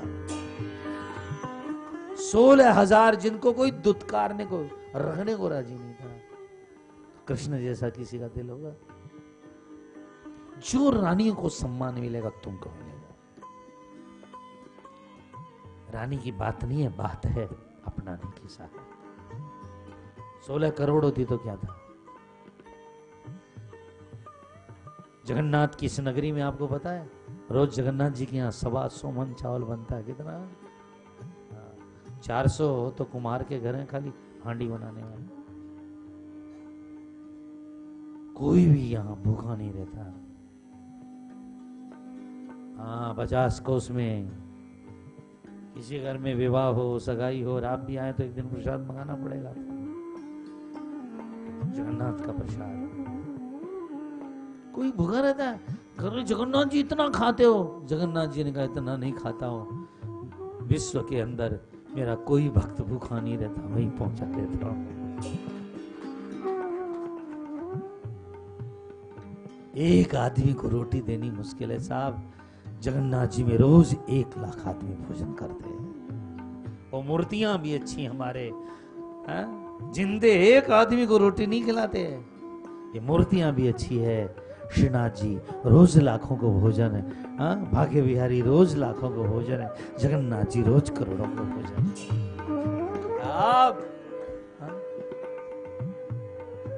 जिंदे आदमी को बोल दो, रोटी खिलाना हमारे पितृ लोग धन्य है। पिता का श्राद्ध है, दादा का श्राद्ध है, लोग चार आदमी को खिलाते हैं, पूरा परिवार इकट्ठा। वो मरे पितृ अच्छे हैं, कम से कम भोजन तो देते हैं। वो जिंदे लोग क्या काम के मरे से भी बेकार जो आए हुए को पानी और भोजन नहीं देते। जिंदे अच्छे की मुर्दे अच्छे? मरे पितृ अच्छे है, जो श्राद्ध के बहाने किसी को रोटी देते हैं। दादाजी का श्राद्ध है सब आ जाओ आज घर में पचास आदमी इकट्ठे हो। गए वो जिंदे क्या काम के साथ? जीने को तो कौवा भी जीता है, श्राद्ध की पूड़ी खूब खाता है। जीना ही जीना है तो पेड़ पौधे भी जीते हैं। जीना ही जीना है हाँ? तो दुनिया के अंदर श्वास लेना ही जीना तो लोहार की धोकनी भी सांस लेती है। इससे क्या मतलब? तो कृष्णस्तु भगवान, कृष्ण जैसा हुआ नहीं। जो ब्रह्म ज्ञान हिमालय की गुफाओं में ऋषि लोग पढ़ा करते थे, जो ब्रह्म विद्या जंगल के ऋषि मुनि साधना करके वन में करते थे, कृष्ण ने महाभारत के रण में वही ब्रह्म ज्ञान सुना दिया अर्जुन को। अध्यात्म विद्या जो वन की थी, उसको रण में लाने वाला एक ही व्यक्ति है कृष्ण। चारों तरफ़ सेनाओं मर रही हो और बीच में ब्रह्म ज्ञान सुनाने वाला केवल कृष्ण। गीता में 700 श्लोक हैं। 700 श्लोकों में 700 समुद्रों से ज़्यादा ज्ञान भरा है। इसलिए कृष्णम वंदे जगत। गीता में नहीं है ब्रह्मांड में किसी भी ग्रंथ में नहीं है। चाहे वो जर्मन का ग्रंथ हो चाहे जापान का ग्रंथ हो चाहे अमेरिका का चाहे बुद्ध। जो गीता में ज्ञान है वही सब ग्रंथों में है और जो गीता में नहीं ब्रह्मांड में कहीं नहीं। इसलिए कृष्णम वंदे। जगत गुरु। एक पंक्ति नहीं कह पाया कोई सब गीता की टीका है। कृष्ण जो कह के गए गीता में सात सौ समंदर भर के गए। आज कोई कह सकता है, गीता में पढ़ता हूँ या गीता मुझे याद है? नहीं। इनका अंत नहीं है। रामायण पढ़ सकते हैं, आप भागवत पढ़ सकते हैं, पर गीता गीता कहने वाले भी बहुत कम है और समझने और सुनने वाले तो बहुत ही कम है साहब समाज में। गीता। गीता का कृष्ण निराला कृष्ण साहब। अर्जुन कहता है अर्जुन कहता है, मृत्यु। क्या? मौत। कृष्ण कहते हैं, पागल कहीं का? कोई मरा है आज तक? इस भारत देश में अर्जुन ने कोई मरा था, न कोई मर रहा है और न कोई मरेगा। चोला बदलना भूल यार। आत्मा तो मेरा रूप है, शरीर बदलते अर्जुन। आत्मा नहीं मरती। कोई नहीं मरा आज तक। गीता मौत को नहीं मानती, भागवत मौत को नहीं मानती, भारतीय ज्ञान कहते हैं चोला बदलना। शरीर पुराना हो गया, दूसरा ले लिया। पाशांसी जीर्णानि यथा विहाय नमानि गन्नाति नरोपराणि अर्जुन कहता है, रणांगण। क्या कहता है? रणांगण। ज़िंदगी रणांगण है, लड़ो लड़ो लड़ो। कृष्ण ने कहा, नहीं ज़िंदगी क्रीड़ांगण है यार। एक खेल का मैदान है, कोई जीतता है, कोई हारता है। आज जो हारा, कल जीतेगा। कल जो हारा, वो जीता, वो हारेगा। अर्जुन कहता, रुदन। कृष्ण कहता, प्रहसन्य भारत है।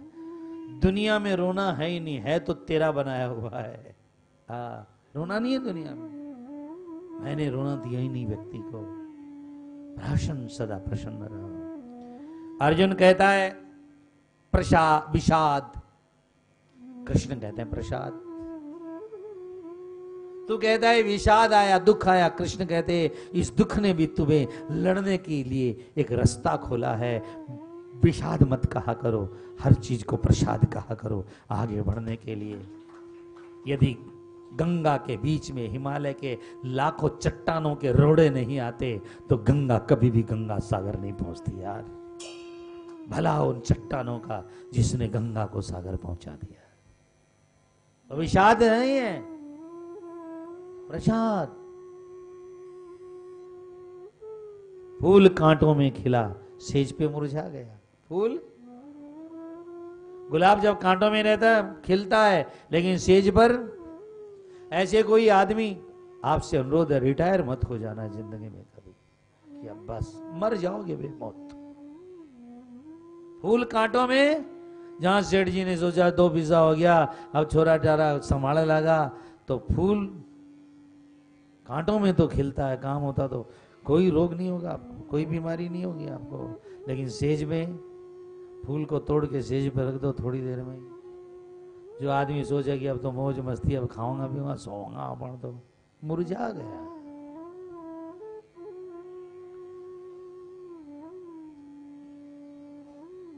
तो कृष्ण क्या है? पूरा पूरा चोर है तो पूरा और योगी है तो और सत्यवादी है तो कृष्ण जैसा सत्यवादी कोई पैदा नहीं हुआ। कृष्ण पूरा सत्यवादी है। ये युधिष्ठिर से कहते हैं युधिष्ठिर कह दो, अश्वत्थामा मर गया।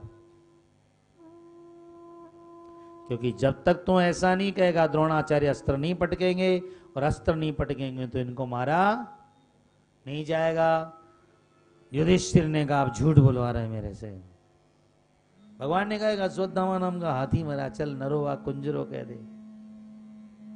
युधिष्ठिर ने कहा, नहीं, झूठ झूठ होता है। मैं जीवन भर झूठ नहीं बोला, मेरा रथ एक बित्ता ऊपर चलता धरती से। धरती में नहीं चलता था युधिष्ठ का रथ एक बित्ता ऊपर मैं झूठ नहीं बोलूँगा। भगवान ने कहा, युधिष्ठिर, बोल। अश्वत्थामा मर गया। युधिष्ठिर ने कहा, मैं नहीं बोलूँगा। कृष्ण ने कहा, सुन। भरी सभा में द्रौपदी नग्न हो रही, की जा रही थी। और ये द्रोणाचार्य उसे देख रहे थे। एक आचार्य की दरकार नहीं है ऐसे आचार्य की इस देश को। एक झूठ से यदि ऐसे आचार्य को मारा जा सकता है तो कृष्ण असत्य को करोड़ों सत्य से भी बड़ा मानता है। बोल। देखो, सत्य है कृष्ण का, पर कड़वा सत्य है। इसका जीवन सत्य नहीं है तो इसके साथ में सत्य कैसे पालन किया जा सकता है? मैं उस झूठ को करोड़ों सत्य से ऊँचा मानता हूँ। युधिष्ठिर ने कहा, और द्रोणाचार्य मारा गया। झूठ है क्या कृष्ण? बड़ी सभा में एक बहन बेचत हुई है, और आचार्य देख रहे हैं। इसलिए गीता पढ़नी बड़ी मुश्किल है। गीता पढ़ते हैं तो दिमाग कभी कभी जगराता है। भगवान अर्जुन से कहते हैं, क्रोध करेगा तो नरक में जाएगा। अर्जुन कहता है, तलवार भी मारूं, सामने वाला को गुस्सा भी नहीं करूँ। यही तो बहादुरी है यार। त्रिविधम नरकशीदम द्वारम महात्मा नाशना। कभी कभी दस दस दिन हम लोगों को गीता पे बोलना पड़ता है। क्या गीता है साहब? सच में गीता तो गोविंद का हृदय है। गीता में हृदय पार्थ अद्भुत है गीता जैसा कोई नहीं। राम सुखदास जी कहते थे, अर्जुन का बड़ा सौभाग्य नहीं था, केवल एक बार गीता सुनी, पर हम लोगों का बड़ा सौभाग्य है, रोज गीता के पाँच ग्यारह श्लोक पढ़ते हैं। जो वाणी गोविंद के मुँह से निकली, आज हमारे मुँह से कहते ना गाना उनका गाया हुआ है, ये गाना, ये गीता गोविंद का गाया हुआ गीत है। पढ़ो।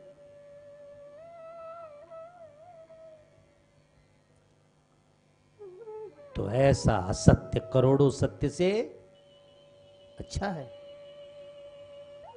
तो कृष्ण पूरा है। चोर है तो साहूकार है तो पूरा साहूकार। योगी है तो और नर्तक है तो नाचने वाला है तो। जब भगवान ने रासलीला की तो दो चार दस नहीं, बाजे वाले एक लाख गंधर्व वाद्य बजाने के लिए आए थे। कितने? एक लाख गंधर्वों का दिमाग घूम जाता है। कैसे नाचा होगा इसे बाजू पर? हा, कृष्ण जैसा नर्तक पैदा नहीं हुआ। छत्तीस लड़ियाँ, छत्तीस रागनियाँ होती है। छत्तीस लड़ियाँ पहनी थी कृष्ण ने घुघरू की पैर में रास के समय। तीसरी लड़ी का तीसरा घुघरू बजता था तो तीसरा ही बजता था। मज़ा ले, पांचवा बज जाए। क्या नाचा होगा। अब छत्तीस लड़ी बांधे, उसका तीसरे नंबर का घुघरू बजना छत्तीस होगा। है कोई नर्तक? पहली लड़ी बजनी है तो पहली बजनी है। और नाचेगा वैसा। सारे नर्तक बेकार हो गए रास में एक लाख अंदरों ने वाद्य बजाए। कृष्ण ने जब कृष्ण ने जब रास में प्रवेश किया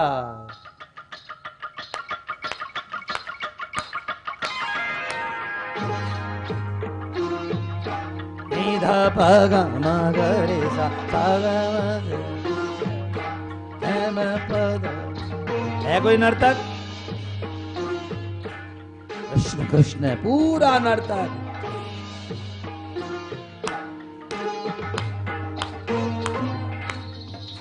Mira paga maga mare paga magare sa sa sa sa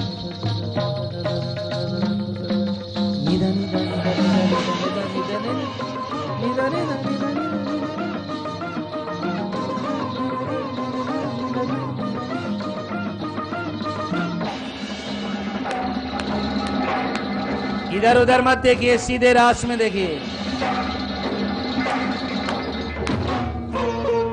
जब चारों तरफ़ से गोपियाँ आई। एक गोपी, एक कृष्ण, एक गोपी, एक कृष्ण। तासा मध्य द्वयो द्वयो। एक गोपी, दो कृष्ण। दाएँ कृष्ण बाएँ कृष्ण।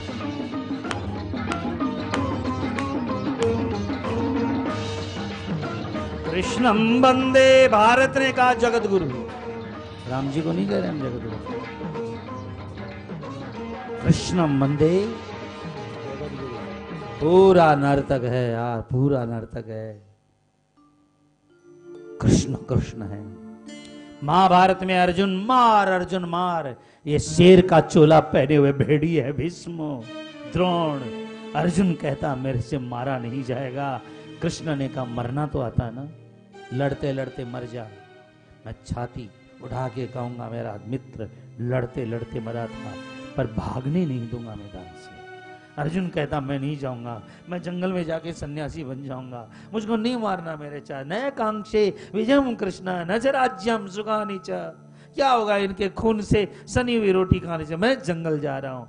कृष्ण ने कहा, कौन कहता है लड़ने के लिए? मर जा लड़ते लड़ते स्वधर्मी निधनम। मरना ही अच्छा मर। और भागने नहीं दूँगा। कृष्ण कृष्ण है। जरासंध के साथ युद्ध हुआ तो खुद भाग गए। बोलिए रण छोड़ राय की जय। वहाँ भागना ही करोड़ों के प्राण बचाना था यहाँ खड़ा होना ही महाभारत था। समय देखा जाता है साहब। अच्छा हाथ काटने वाले को पुरस्कार मिलना चाहिए कि कोई डाकू हाथ काटने वाले को पुरस्कार मिलना चाहिए कि जेल मिलनी चाहिए? कोई डाकू हाथ काट दिया चोर बोलो। हाथ काटने वाले को जेल होनी चाहिए, पर डॉक्टर काटे तो। दो चार लाख रुपया और दे ऑपरेशन का। कि भाई इसके कैंसर हो गया था, हाथ काटना पड़ गया। बोलो, हाथ काटना पाप है कि हाथ काटना पुण्य? बोलो। अरे, समय की बात है भाई।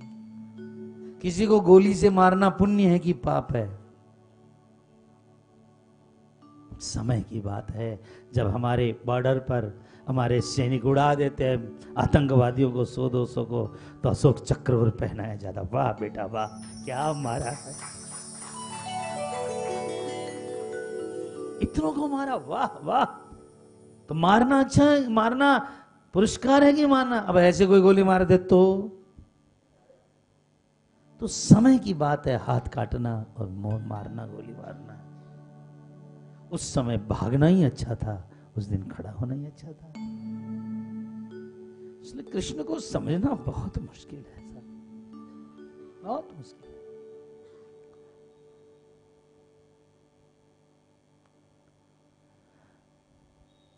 महाभारत का युद्ध था, चलो दूसरों के चाचा ताऊ बेटे थे। मार अर्जुन, मार क्या जाता था, मरवा दिया कृष्ण ने। लेकिन अंतिम समय कृष्ण का दृश्य देख नहीं पाओगे। छप्पन करोड़ यादवों को शाप लगा। यादव लड़के मर गए, लाशों की लाशें बिछी पड़ी है। जवानी में तो अर्जुन को गीता सुनाई, पर लाशें बिछी पड़ी है। चाचा, ताऊ, बेटे, पोते, कृष्ण के क्षत विशत लाशें गीत खा रहे हैं। और उन गीतों की लाशों पर बैठा हुआ कृष्ण उद्धव पैरों में पड़ता है तो उद्धव को भगवान एकादश कंध का ज्ञान दे रहे हैं। है कोई लाशों पर ज्ञान बांटने वाला? केवल कृष्ण। एक भाई के बाण लगा, राम जी का रोना नहीं देखा जाता है रामायण में। हा लखन हा लखन, मैं भी चिता में जल जाऊँगा, पर राम कृष्ण कृष्ण सुख में कभी सुखी नहीं हुआ, दुख में कभी दुखी नहीं हुआ व्यक्ति। और गीता में कृष्ण ने कहा, नाक पकड़ना योग नहीं मानता अर्जुन में। समत्तम योग मुच्यते जो व्यक्ति सुख में सुखी नहीं होता, हानि, लाभ, जीवन, मरण में, जो सम रहता है, उसका नाम योगी होता है। यार, किसको योगी बना रहे तुम? पैसे के लिए मरने वाले योगी होते हैं। पैसे पैसे के लिए मरने वालों को योगी कहते हो? कोई एक बात बोल दे तो दस बात सुनाने वाले को योगी कहते हो? योग शब्द के ऊपर कलंक है ये लोग। समत्वम योग मुच्यते गीता सम हानि लाभ जीवन, मरण, जस अब जस, लेना देना, सब समय। कृष्ण, पूरी जीवन में कृष्ण को कोई रोते नहीं देता रोए नहीं वो कभी। तो राम जी को कैसे खड़ा कर दे हम कृष्ण जी की जगह? एक भाई के वाण लगा तो क्या स्थिति यहाँ छप्पन करोड़ लाशें बिछी पड़ी है। और राम जी के अंदर महाराज जी बैठे हुए हैं, महाराज जी आए हुए हैं अयोध्या से। तीन लाख जब करेंगे यहाँ बैठ करके, कल बता रहे थे भैया जी। राम जी में कमी है ना, राम जी झूठ नहीं बोल सकते, हमारे कृष्ण जी झूठ आपके राम जी झूठ बोल सकते हैं क्या?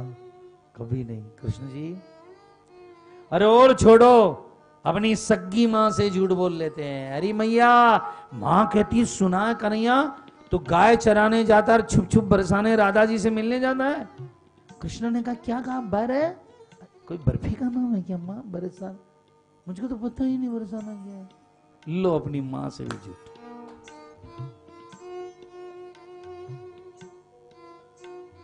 क्या है ठाकुर। इसलिए कृष्ण जैसा इसलिए भागवत ने कहा कृष्ण कृष्णस्तु भगवान। स्वयं। राम जी दूसरा विवाह नहीं कर सकते। यज्ञ किया तो स्वर्ण की सीता बनाई पर कृष्ण जी कोई शरण में आए। आ जाओ। राम राम है साहब कृष्ण जैसा कृष्ण ही हुआ।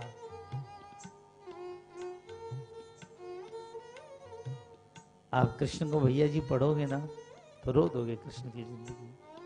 जितनी आफत कृष्ण पर गिरी विश्व में, ब्रह्मांड में किसी पर उतनी आफत जन्मते मामा दुश्मन। कौन दुश्मन? जेल खाने में। एक नहीं, दो नहीं छह छह भाई मार चुका था उनके। क्या दशा हुई होगी? रातों रात गाँव छोड़ करके टोकरे में बैठ करके दूसरे गाँव में भागना। छठा दिन हुआ, कृष्ण के जन्म का। स्त्री दुश्मन हो गई। पूतना आ गई, जहर पिलाने छठे ही दिन तो स्त्रियाँ दुश्मन, बताइए। और तो और जिस ठेले गाड़ी में सोई, वो छकड़ा दुश्मन। वही चकडासुर गिर गया, दबा के मारो इसको। हवाएँ दुश्मन तृणावर्त आया कि इसको तो उड़ा के समुद्र में फेंक के मारूँगा। कंस से बोला? कितने दुश्मन है यार।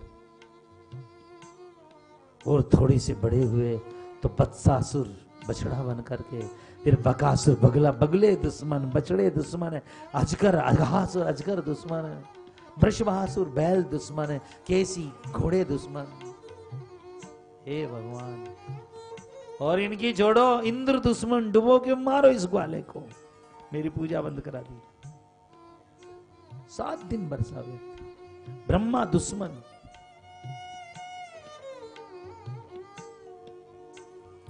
गरे बिछड़े चुरा रहे मरने दो, रो रो कर इसको।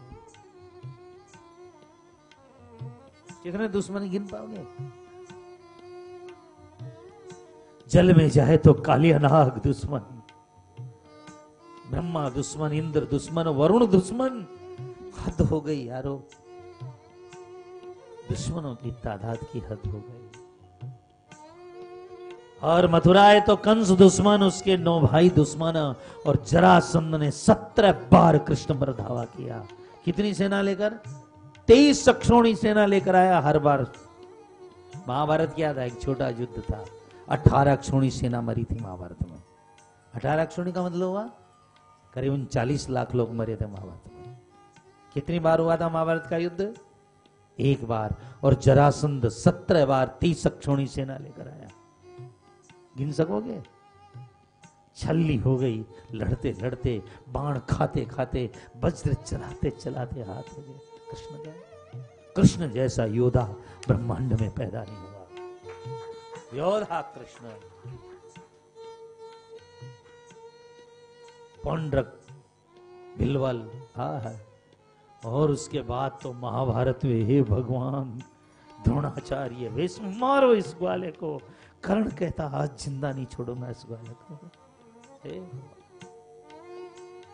कितने दुश्मनों की तादाद भरी पड़ी है, लेकिन आप जरा सा ध्यान दीजिए, फिर भी ठाकुर जी बांसुरी बजा रहे हैं। फिर भी बांसुरी बजा रहे हैं। हाथ धो गई यार अरे लाला वाह। बांसुरी की तान से सीख ले है ज़िंदगी। बोलो। बांसुरी की तान से सीख ले ज़िंदगी। लाख सीने में जख्म हो। लाख सीने में जख्म हो। गुनगुनाना चाहिए। गुनगुनाना लाख सीने में जख्म हो गुनगुनाना। चाहिए।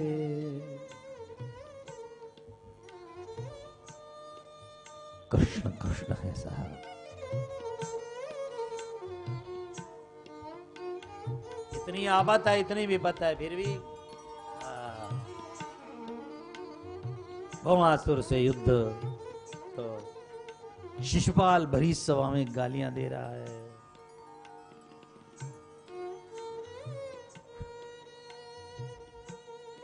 फिर भी देखो कृष्ण की कहीं फ़ोटो आपको रोती हुई दिखाई देगी।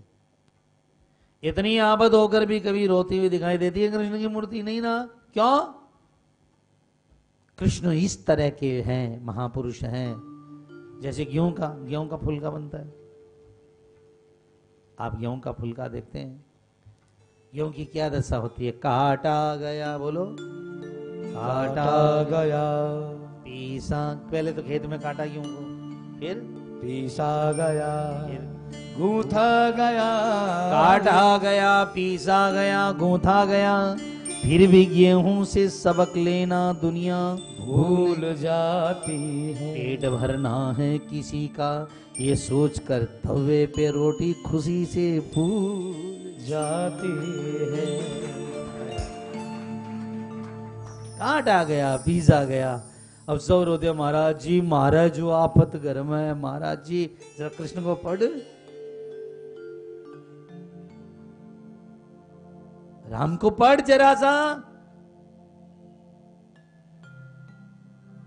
तेरी आफतें कुछ नहीं है यार। कुछ नहीं आफत है द्रौपदी को पढ़ोगे ना?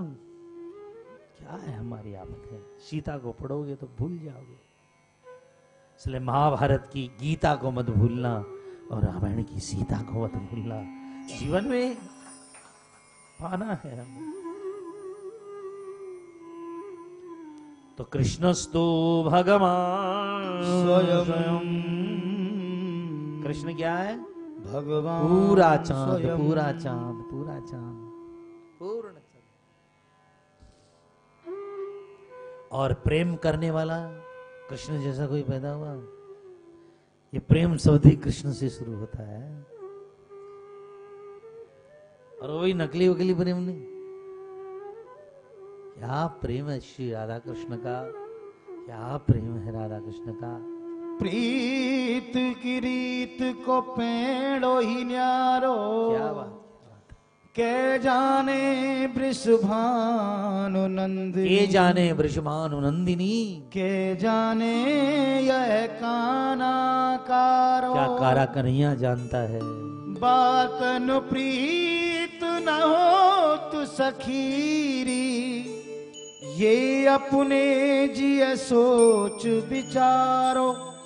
सूर श्याम ये प्रीत कठिन है। शीश दिए ते हो ये निवारो। कृष्ण जैसा प्रेम करने वाला कहाँ मिलेगा साहब? जेठ वैसाख का महीना था। हाँ। कौन सा महीना था? और कड़ाके की धूप पड़ रही। जोरदार धूप पड़ रही। और भगवान कृष्ण एक टीले पर खड़े हुए थे। क्या तपती धूप। पैर में जूते नहीं और हाथ में छत्ता नहीं। ओ, वो कड़ाके की धूप। टीले पर खड़े कृष्ण। ग्वाले ने आवाज़ दी, अरे ओ कन्नो! आजा आजा, कदम के नीचे आजा। आज जैसी धूप कभी नहीं हुई, लाला। गाल लाल हो गए, पैर में छाले पड़ जाएँगे आजा पर प्रेम करने वाले सब देखते हैं क्या? आज तो झूठी मोहब्बत कर दें। ब्याह के पहले तेरे लिए चाँद ला दूँगा और सूरज ला दूँगा। ब्याह के बाद एक नींबू नहीं थोड़ा ला इन लोगों से। साग लाना तो तू लिया बच्चा खिलाना तू लिया क्या एहसान कर रहे हैं यार, हद हो गई।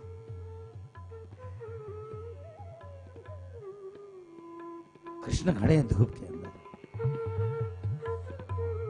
ग्वाले ने आवाज़ लगाई, ओ कन्नो! पर भगवान नहीं आए। ग्वाला बोला, लाला, इतना धूप में इस टीले पर भगवान खड़े हैं। ग्वाला दौड़ करके पास में गए, क्यों खड़े इतनी धूप में? भगवान ने कहा, नीचे देख।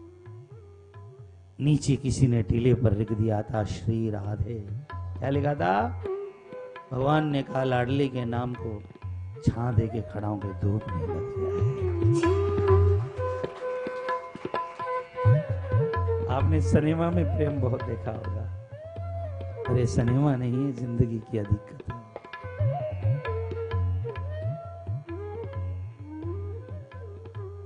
कृष्णस्तु भगवान। स्वयं। भगवान करे आपकी बेटियों को भी ऐसे ही दुल्हा मिले कि नाम को भी धूप नहीं लगे ऐसे जवाई मिले और आप भी खुद ऐसे बनो कि कोई की जो बेटियाँ लेकर आए हो उनके ऊपर नाम पर भी आँच नहीं आए साहब आज का आदमी क्या हो गया है ना? तेरो पेट दुखा तो तू जान मैं क्या करूँ? तेरो सिर दुखा तो तू मर, ये भाषा नहीं होनी चाहिए। प्रेम की भाषा होनी चाहिए।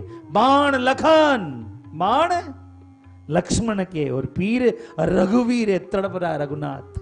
बाण लगा और रघुनाथ जी रहे। मार पड़ती है, बच्चे पर बेहोश माँ होती है। आज भी क्यों भूल रहा है सब प्रेम को? आजकल समझ में नहीं आ रहा। है क्या विधा चलिए तू नहीं तो तू सही है भगवान। जिस मंदिर में जो मूर्ति बिठाई जाती है, उस मंदिर में दूसरी मूर्ति नहीं बैठती है साहब।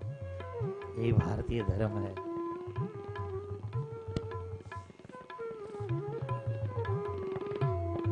कोई भी बहन साल दो साल ससुराल जाके चुप रहे, साल दो साल सह ले, उसके बाद पूरे जीवन वो राज्य करेगी उस घर में। पर बस साल दो साल ही तो बस शुरू वाले तो जिम्मेदार है।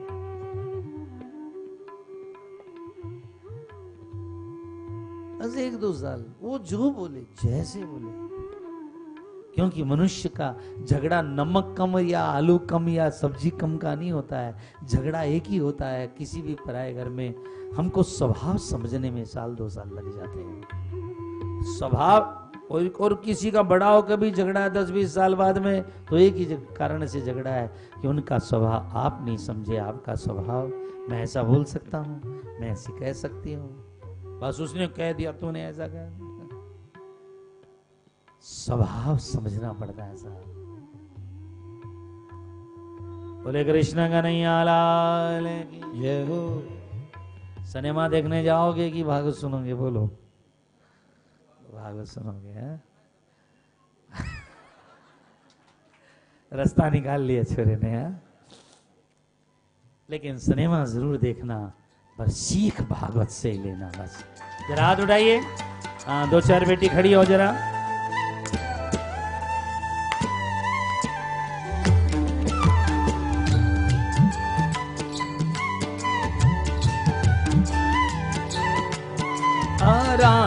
लागे।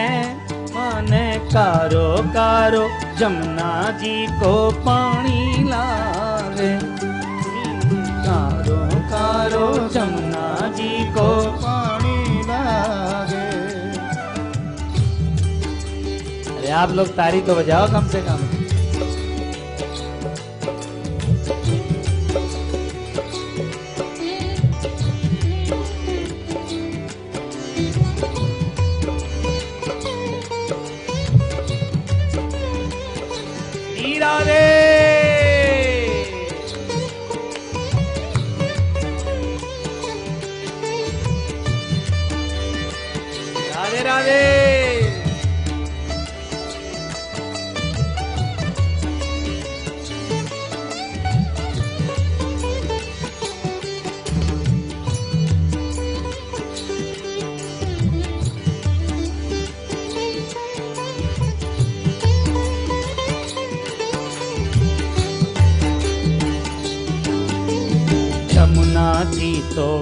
कारी कारी, राधा गोरी गोरी, जमुना भी तो कारी कारी, राधा गोरी गोरी। वृंदावन में मज़ा मचावे परेशानी की छोरी, उनके चरणों में, उनके चरणों में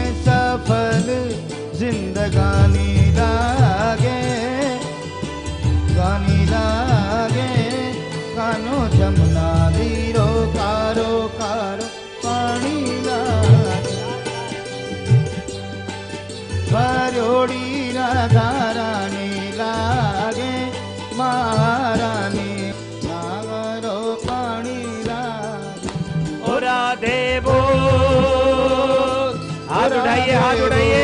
जय जगन्नाथ। राधे वो राधे वो। जय जगन्नाथ। राधे वो राधे वो राधे वो राधे वो।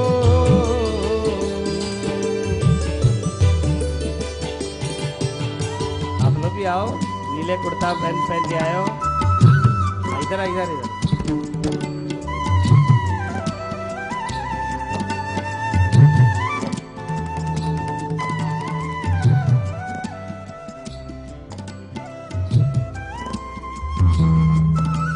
बच्चे लोग हाँ। हाथ उड़ाइए।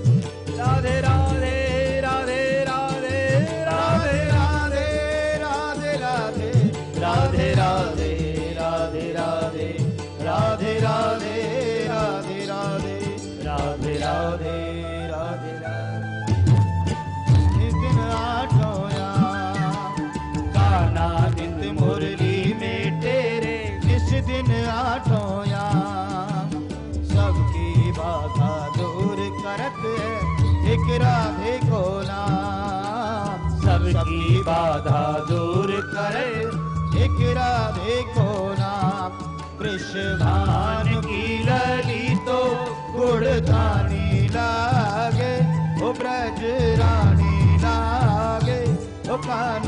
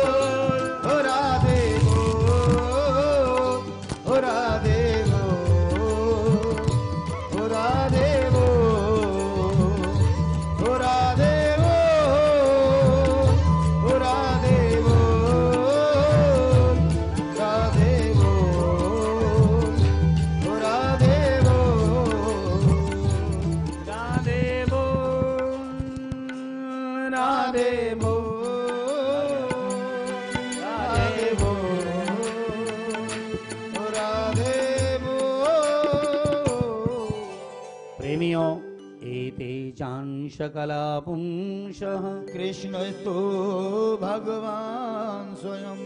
तब बताइए कृष्ण को पूर्ण ब्रह्म कहें कि नहीं कहें? इसलिए भागवत ने कहा कृष्ण पूरा। द्वापर के अंत में कलयुग के प्रारंभ में पराशर नाम के ऋषि हुए। जो गंगा पार करते समय एक मछली बेचने वाले की झींवर की कन्या मिली सत्यवती जिसके शरीर से दुर्गंध आती थी मछली की। उसका नाम था मत्स्यगंधा। उसने पराशर ऋषि को गंगा पार कराया। बाबा ने कहा, बोल, क्या लेगी उतराई? उसने कहा, एक संत मेरी गंग नौका में बैठे हैं। महाराज, मछलियों के संग रहते रहते शरीर में बदबू हो गई। मेरा नाम मत्स्यगंधा है। ऋषि ने कहा, जा, आज एक संत के साथ बैठी है। आज से तेरा नाम कमलगंधा होगा। मत्स्यगंधा से क्या बन गई? पराशर ऋषि ने। उतराई क्या लेगी? कहा, नहीं महाराज, अब क्या चाहिए? कहा, तू नहीं लेगी, पर मैं देता हूँ, जा। तो गंगा से आने जाने वाले ऋषियों को पार करती है, इस पार से उस पार। ले, मैं उतराई देता हूँ। तेरे गर्भ से ऐसा पुत्र होगा, जो करोड़ों लोगों को भाव सागर से पार करेगा। पराशर ऋषि की अपनी तपस्या थी।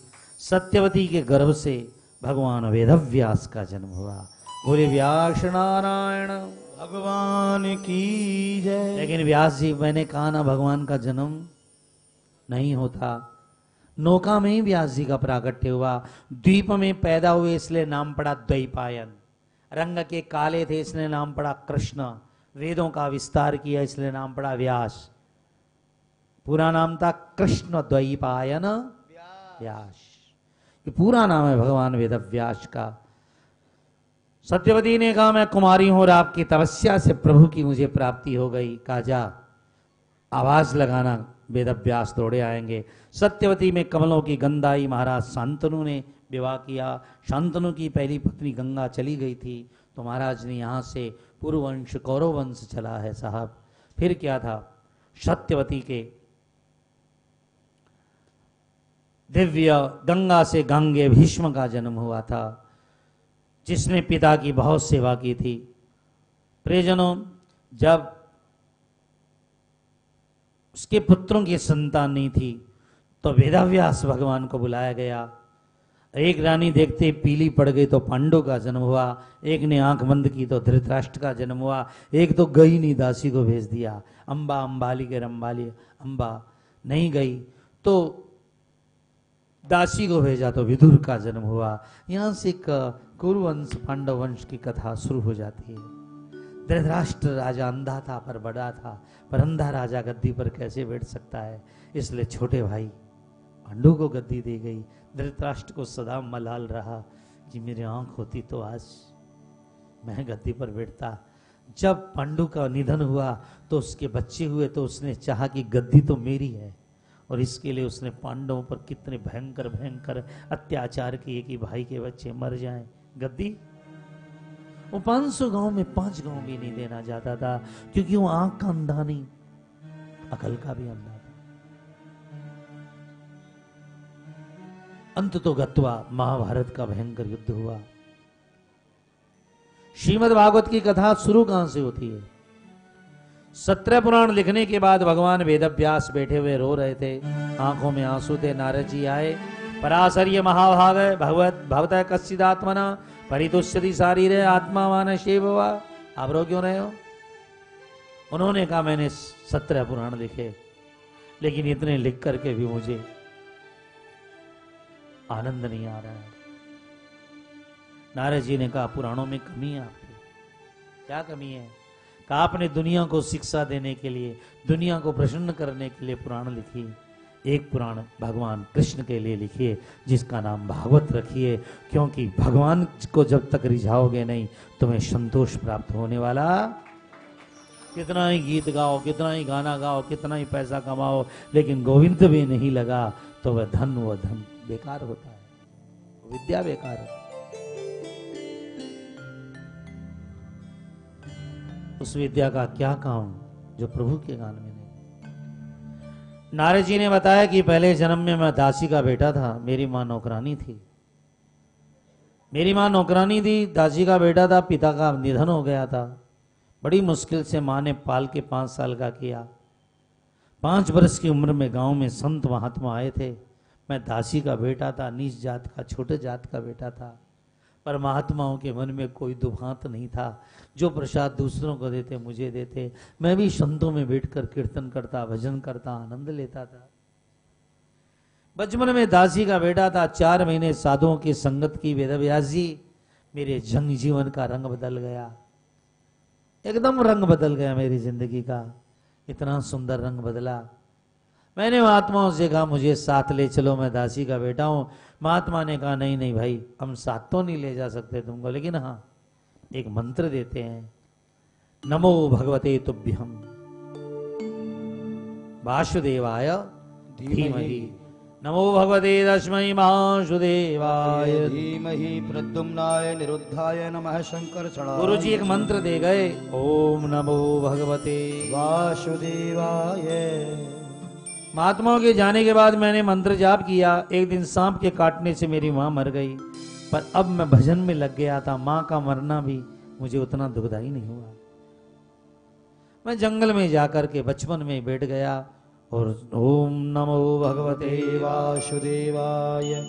ओम नमो जवानी बीतने लगी। वासुदेवा पर दासी का बेटा था तो क्या हुआ? रंगत संगत साधुओं की हो गई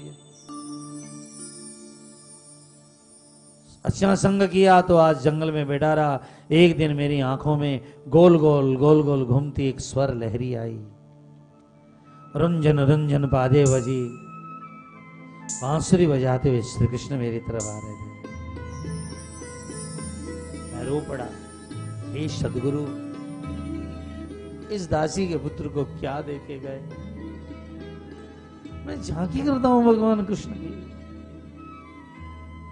गुरु का काम है बीज डालना, पर समय की खाद डालना, प्रेम का पानी डालना तो आपका काम है ना। कई लोग गुरु मंत्र लेने में बड़े होशियार है, पर न तो समय की खाद देते हैं, न प्रेम का।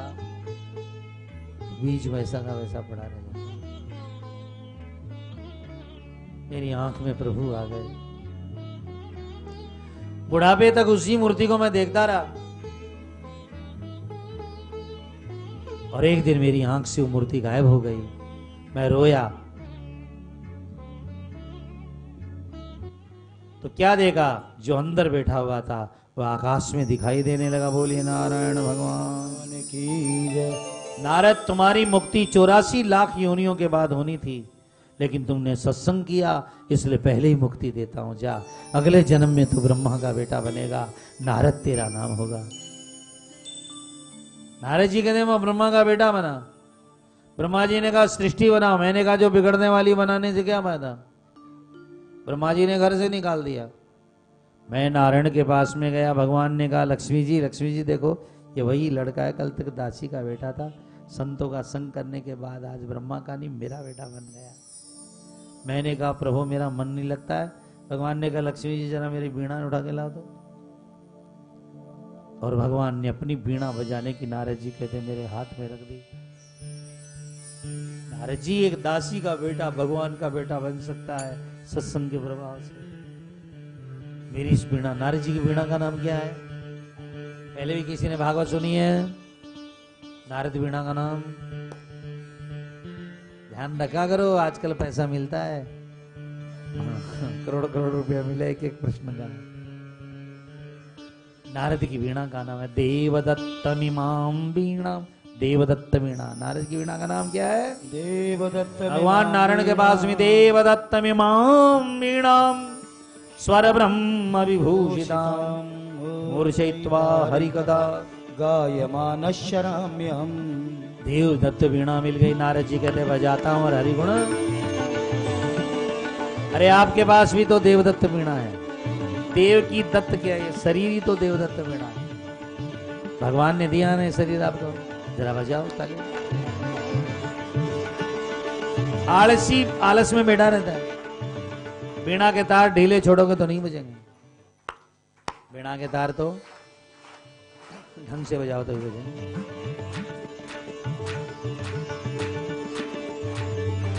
आलसियों ने आलस में छोड़ दिया।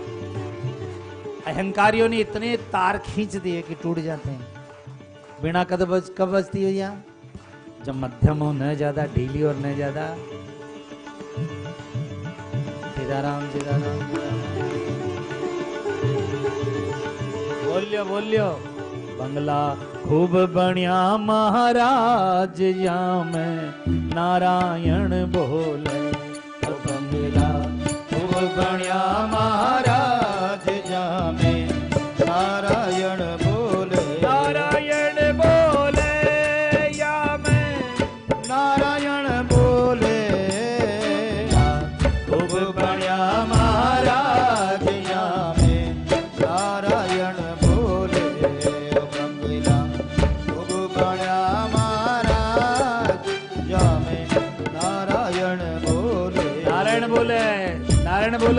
बोले आपा बोला, नारायण बोलना बंद हुआ, लोग राम नाम सत्य बोलेंगे फिर तो। जब तक नारायण है बोल लो।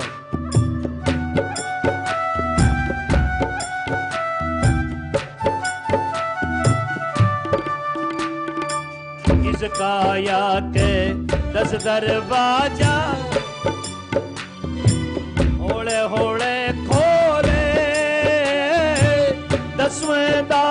प्रभु।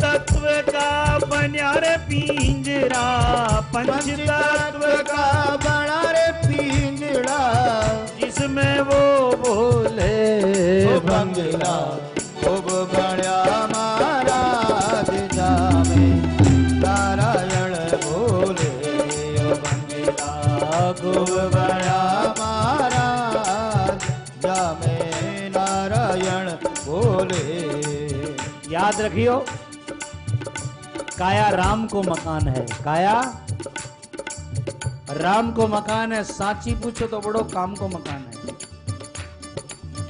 पर मा, मकान का मालिक बहुत दूर रहे। और भला आदमी कभी चिट्ठी भी नहीं भेजता है। अरे मकान का मालिक कभी तो संभाले मकान को। काया राम को मकान है साची पूछो बड़ो काम को मकान है पर मालिक बहुत दूर रहे। और चिट्ठी नहीं भेजा। एक दिन सोचता सोचता मालिक की एक बैरंग चिट्ठी आई। मेरा ठिकाना था, उसका नहीं था। और खोली चिट्ठी को तो पढ़ा। चिट्ठी में लिखा था, मकान बाहर भीतर से साफ़ रखना। समय समय पर भाड़ा चुकाते रहना, नहीं तो मकान खाली करा लिया जाएगा और आदमी की झूणी से किसी जानवर की झूणी में भेज दिया जाएगा। मकान ले लियो, साफ़ सुथरा नहीं कर रहे हो। मकान बाहर भीतर से साफ़ रखना, समय समय पर भाड़ा, चुकाते रहना, नहीं तो मकान खाली करा लिया जाएगा। और आदमी की जोड़ी से कोई जानवर की जोड़ी में कोई बकरी का पेट में, कोई सुअर कुकर के पेट में, हो जा दिया जाएगा।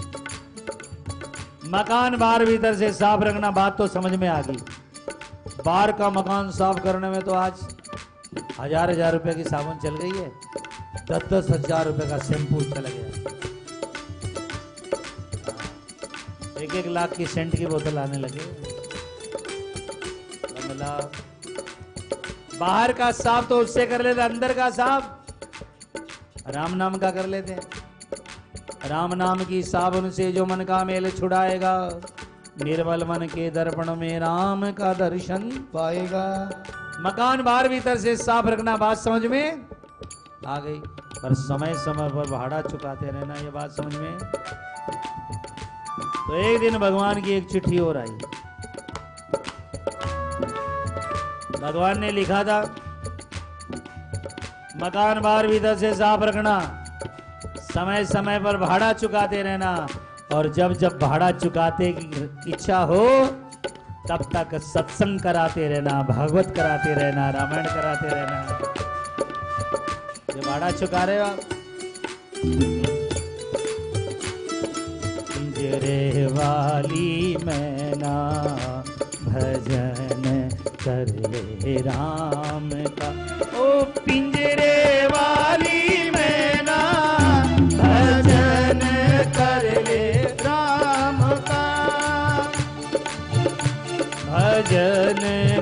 ले राम का भजन कर ले राम का भजन।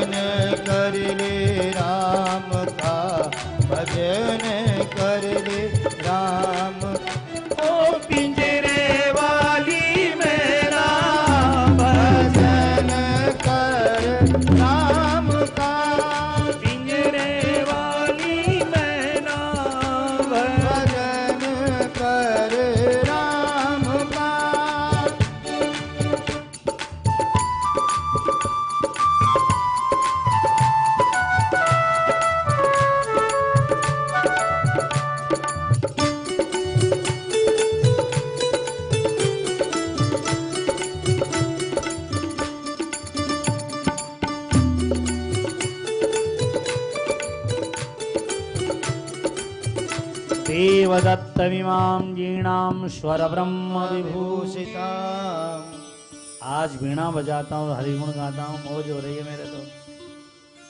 मैंने ठाकुर जी से पूछा कहाँ रहते हो आप? भगवान ने कहा नारद जी ना हम बसामी। वैकुंठ हम बैकुंठ में नहीं रहते। योगी नाम योगियों के दिलों में भी नहीं रहते। मद भक्ता जहाँ मेरे भक्त भागवत कराते हम तो वहीं रहते। कहाँ रहते हैं ठाकुर जी? कहाँ रहते हैं? जहाँ कथा कीर्तन हो। चलो एक टेलीफोन लगाओ भगवान के बाद में। कथा आज की। फिर मिलते हैं, लेकिन एक टेलीफोन की। करना है मुझे टेलीफोन मेरे सांवरे भगवान ने कथा नंबर है, भगवान जगन्नाथ जी का।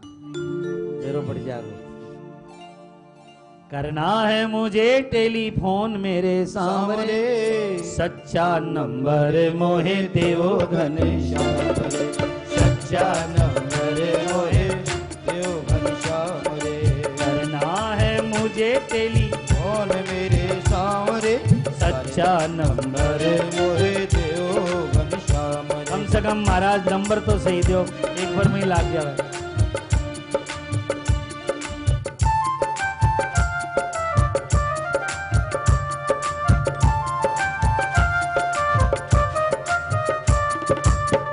पहला तो फ़ोन मैंने मथुरा लगाया। पहला तो फ़ोन मैंने मथुरा लगाया। घंटी बजी।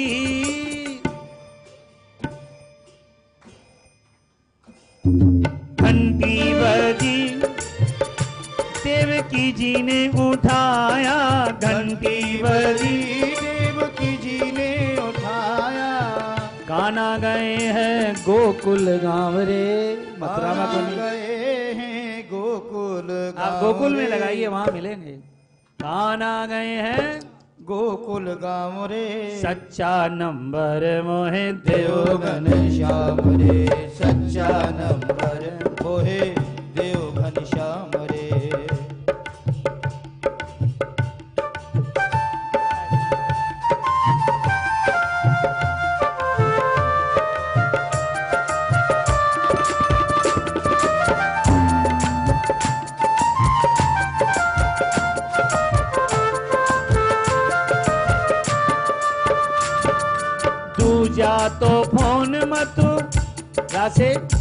गोकुल लगाया हमने। दूजा तो फ़ोन गोकुल में लगाया। दूजा तो फ़ोन गोकुल में लगाया। घंटी बजी। घंटी बजी, जसोदा जी ने उठाया। घंटी बजी, यशोदा जी ने उठाया। जसोदा जी ने कहा, मेरे पास ही नहीं है। काना गए हैं। जमुना के घाट रे। काना गए हैं जमुना के घाट रे। सच्चा नंबर मोहे देव सच्चा नंबर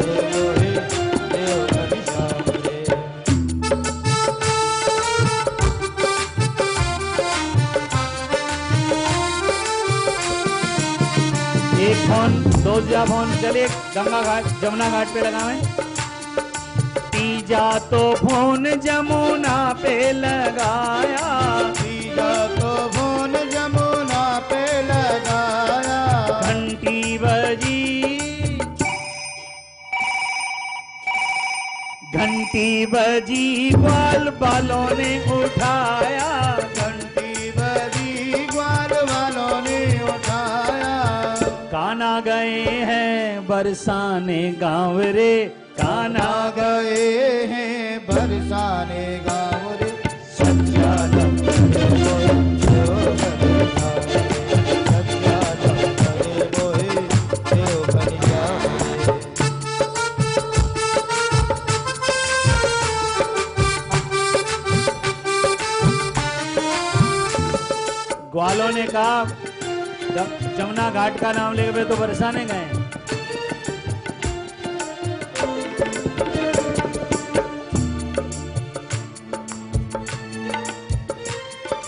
चौथा तो फ़ोन बरसाने लगाया।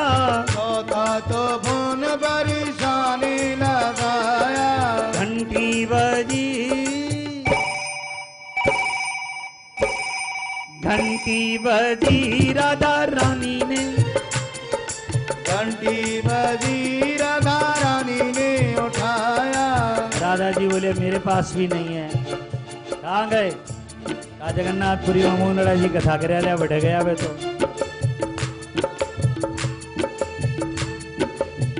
घंटी बजी राधा रानी ने उठाया। काना गए हैं सत्संग गाँव रे काना गए सोतम वाटिका में। संग गाँव रे सच्चा नंबर मोय देव रे। सच्चा नंबर मोय देव घनश्याम रे।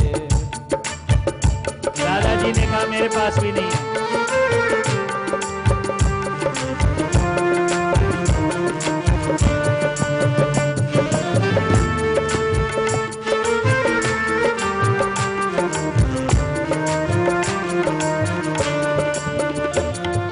पचवा तो फ़ोन सत्संगत में लगाया। पांचवा तो फ़ोन सती संगत में लगाया। घंटी बजी घंटी बजी श्री कृष्ण ने उठाया। घंटी बजी श्री कृष्ण ने उठाया। अरे महाराज इतना फ़ोन कर मिलया कोने काठी कर तो ना सीधो। घंटी बजी जगन्नाथ ने। उठाया। यो ही है मेरो गाँव रे।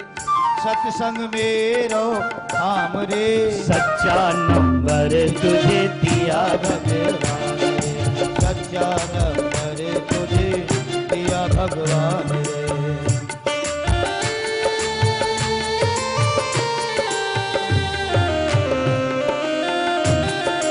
हाँ भैया भगवान का जरा नंबर नोट कर लो। जिनको भगवान से मिलना है नंबर नोट कर लीजिए। प्रभु का नंबर नोट जरा करना। प्रभु का नंबर नोट जरा करना। ज़ीरो बन के दुनिया में रहना। ज़ीरो बन के दुनिया में रहना। यही है भागवत का ज्ञान। ज़ीरो मतलब करणियों भगवान में तो ज़ीरो हाँ जीरा की कोई कीमत को ना एक ठाकुर जी लागे जने करोड़ लाख रब बनाने ज़ीरो बन के दुनिया में रहना। यही है भागवत का सार रे सच्चा नंबर मोहे। दिया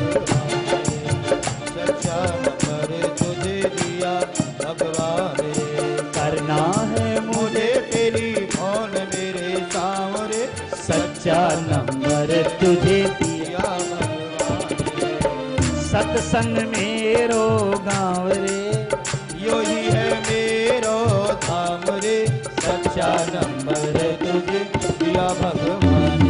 सच्चा नंबर तुझे दिया भगवान सच्चा नंबर तुझे दिया भगवान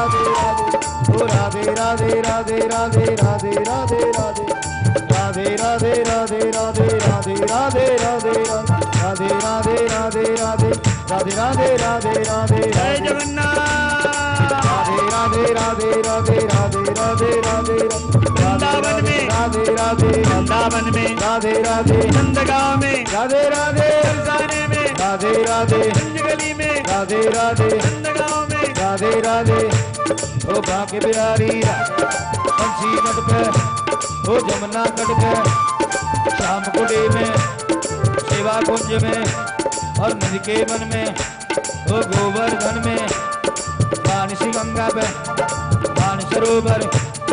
कुसुम सरोवर, सब कोई बोले मानसी गंगा मुखारविंद में वो जतीपुरा में अनोर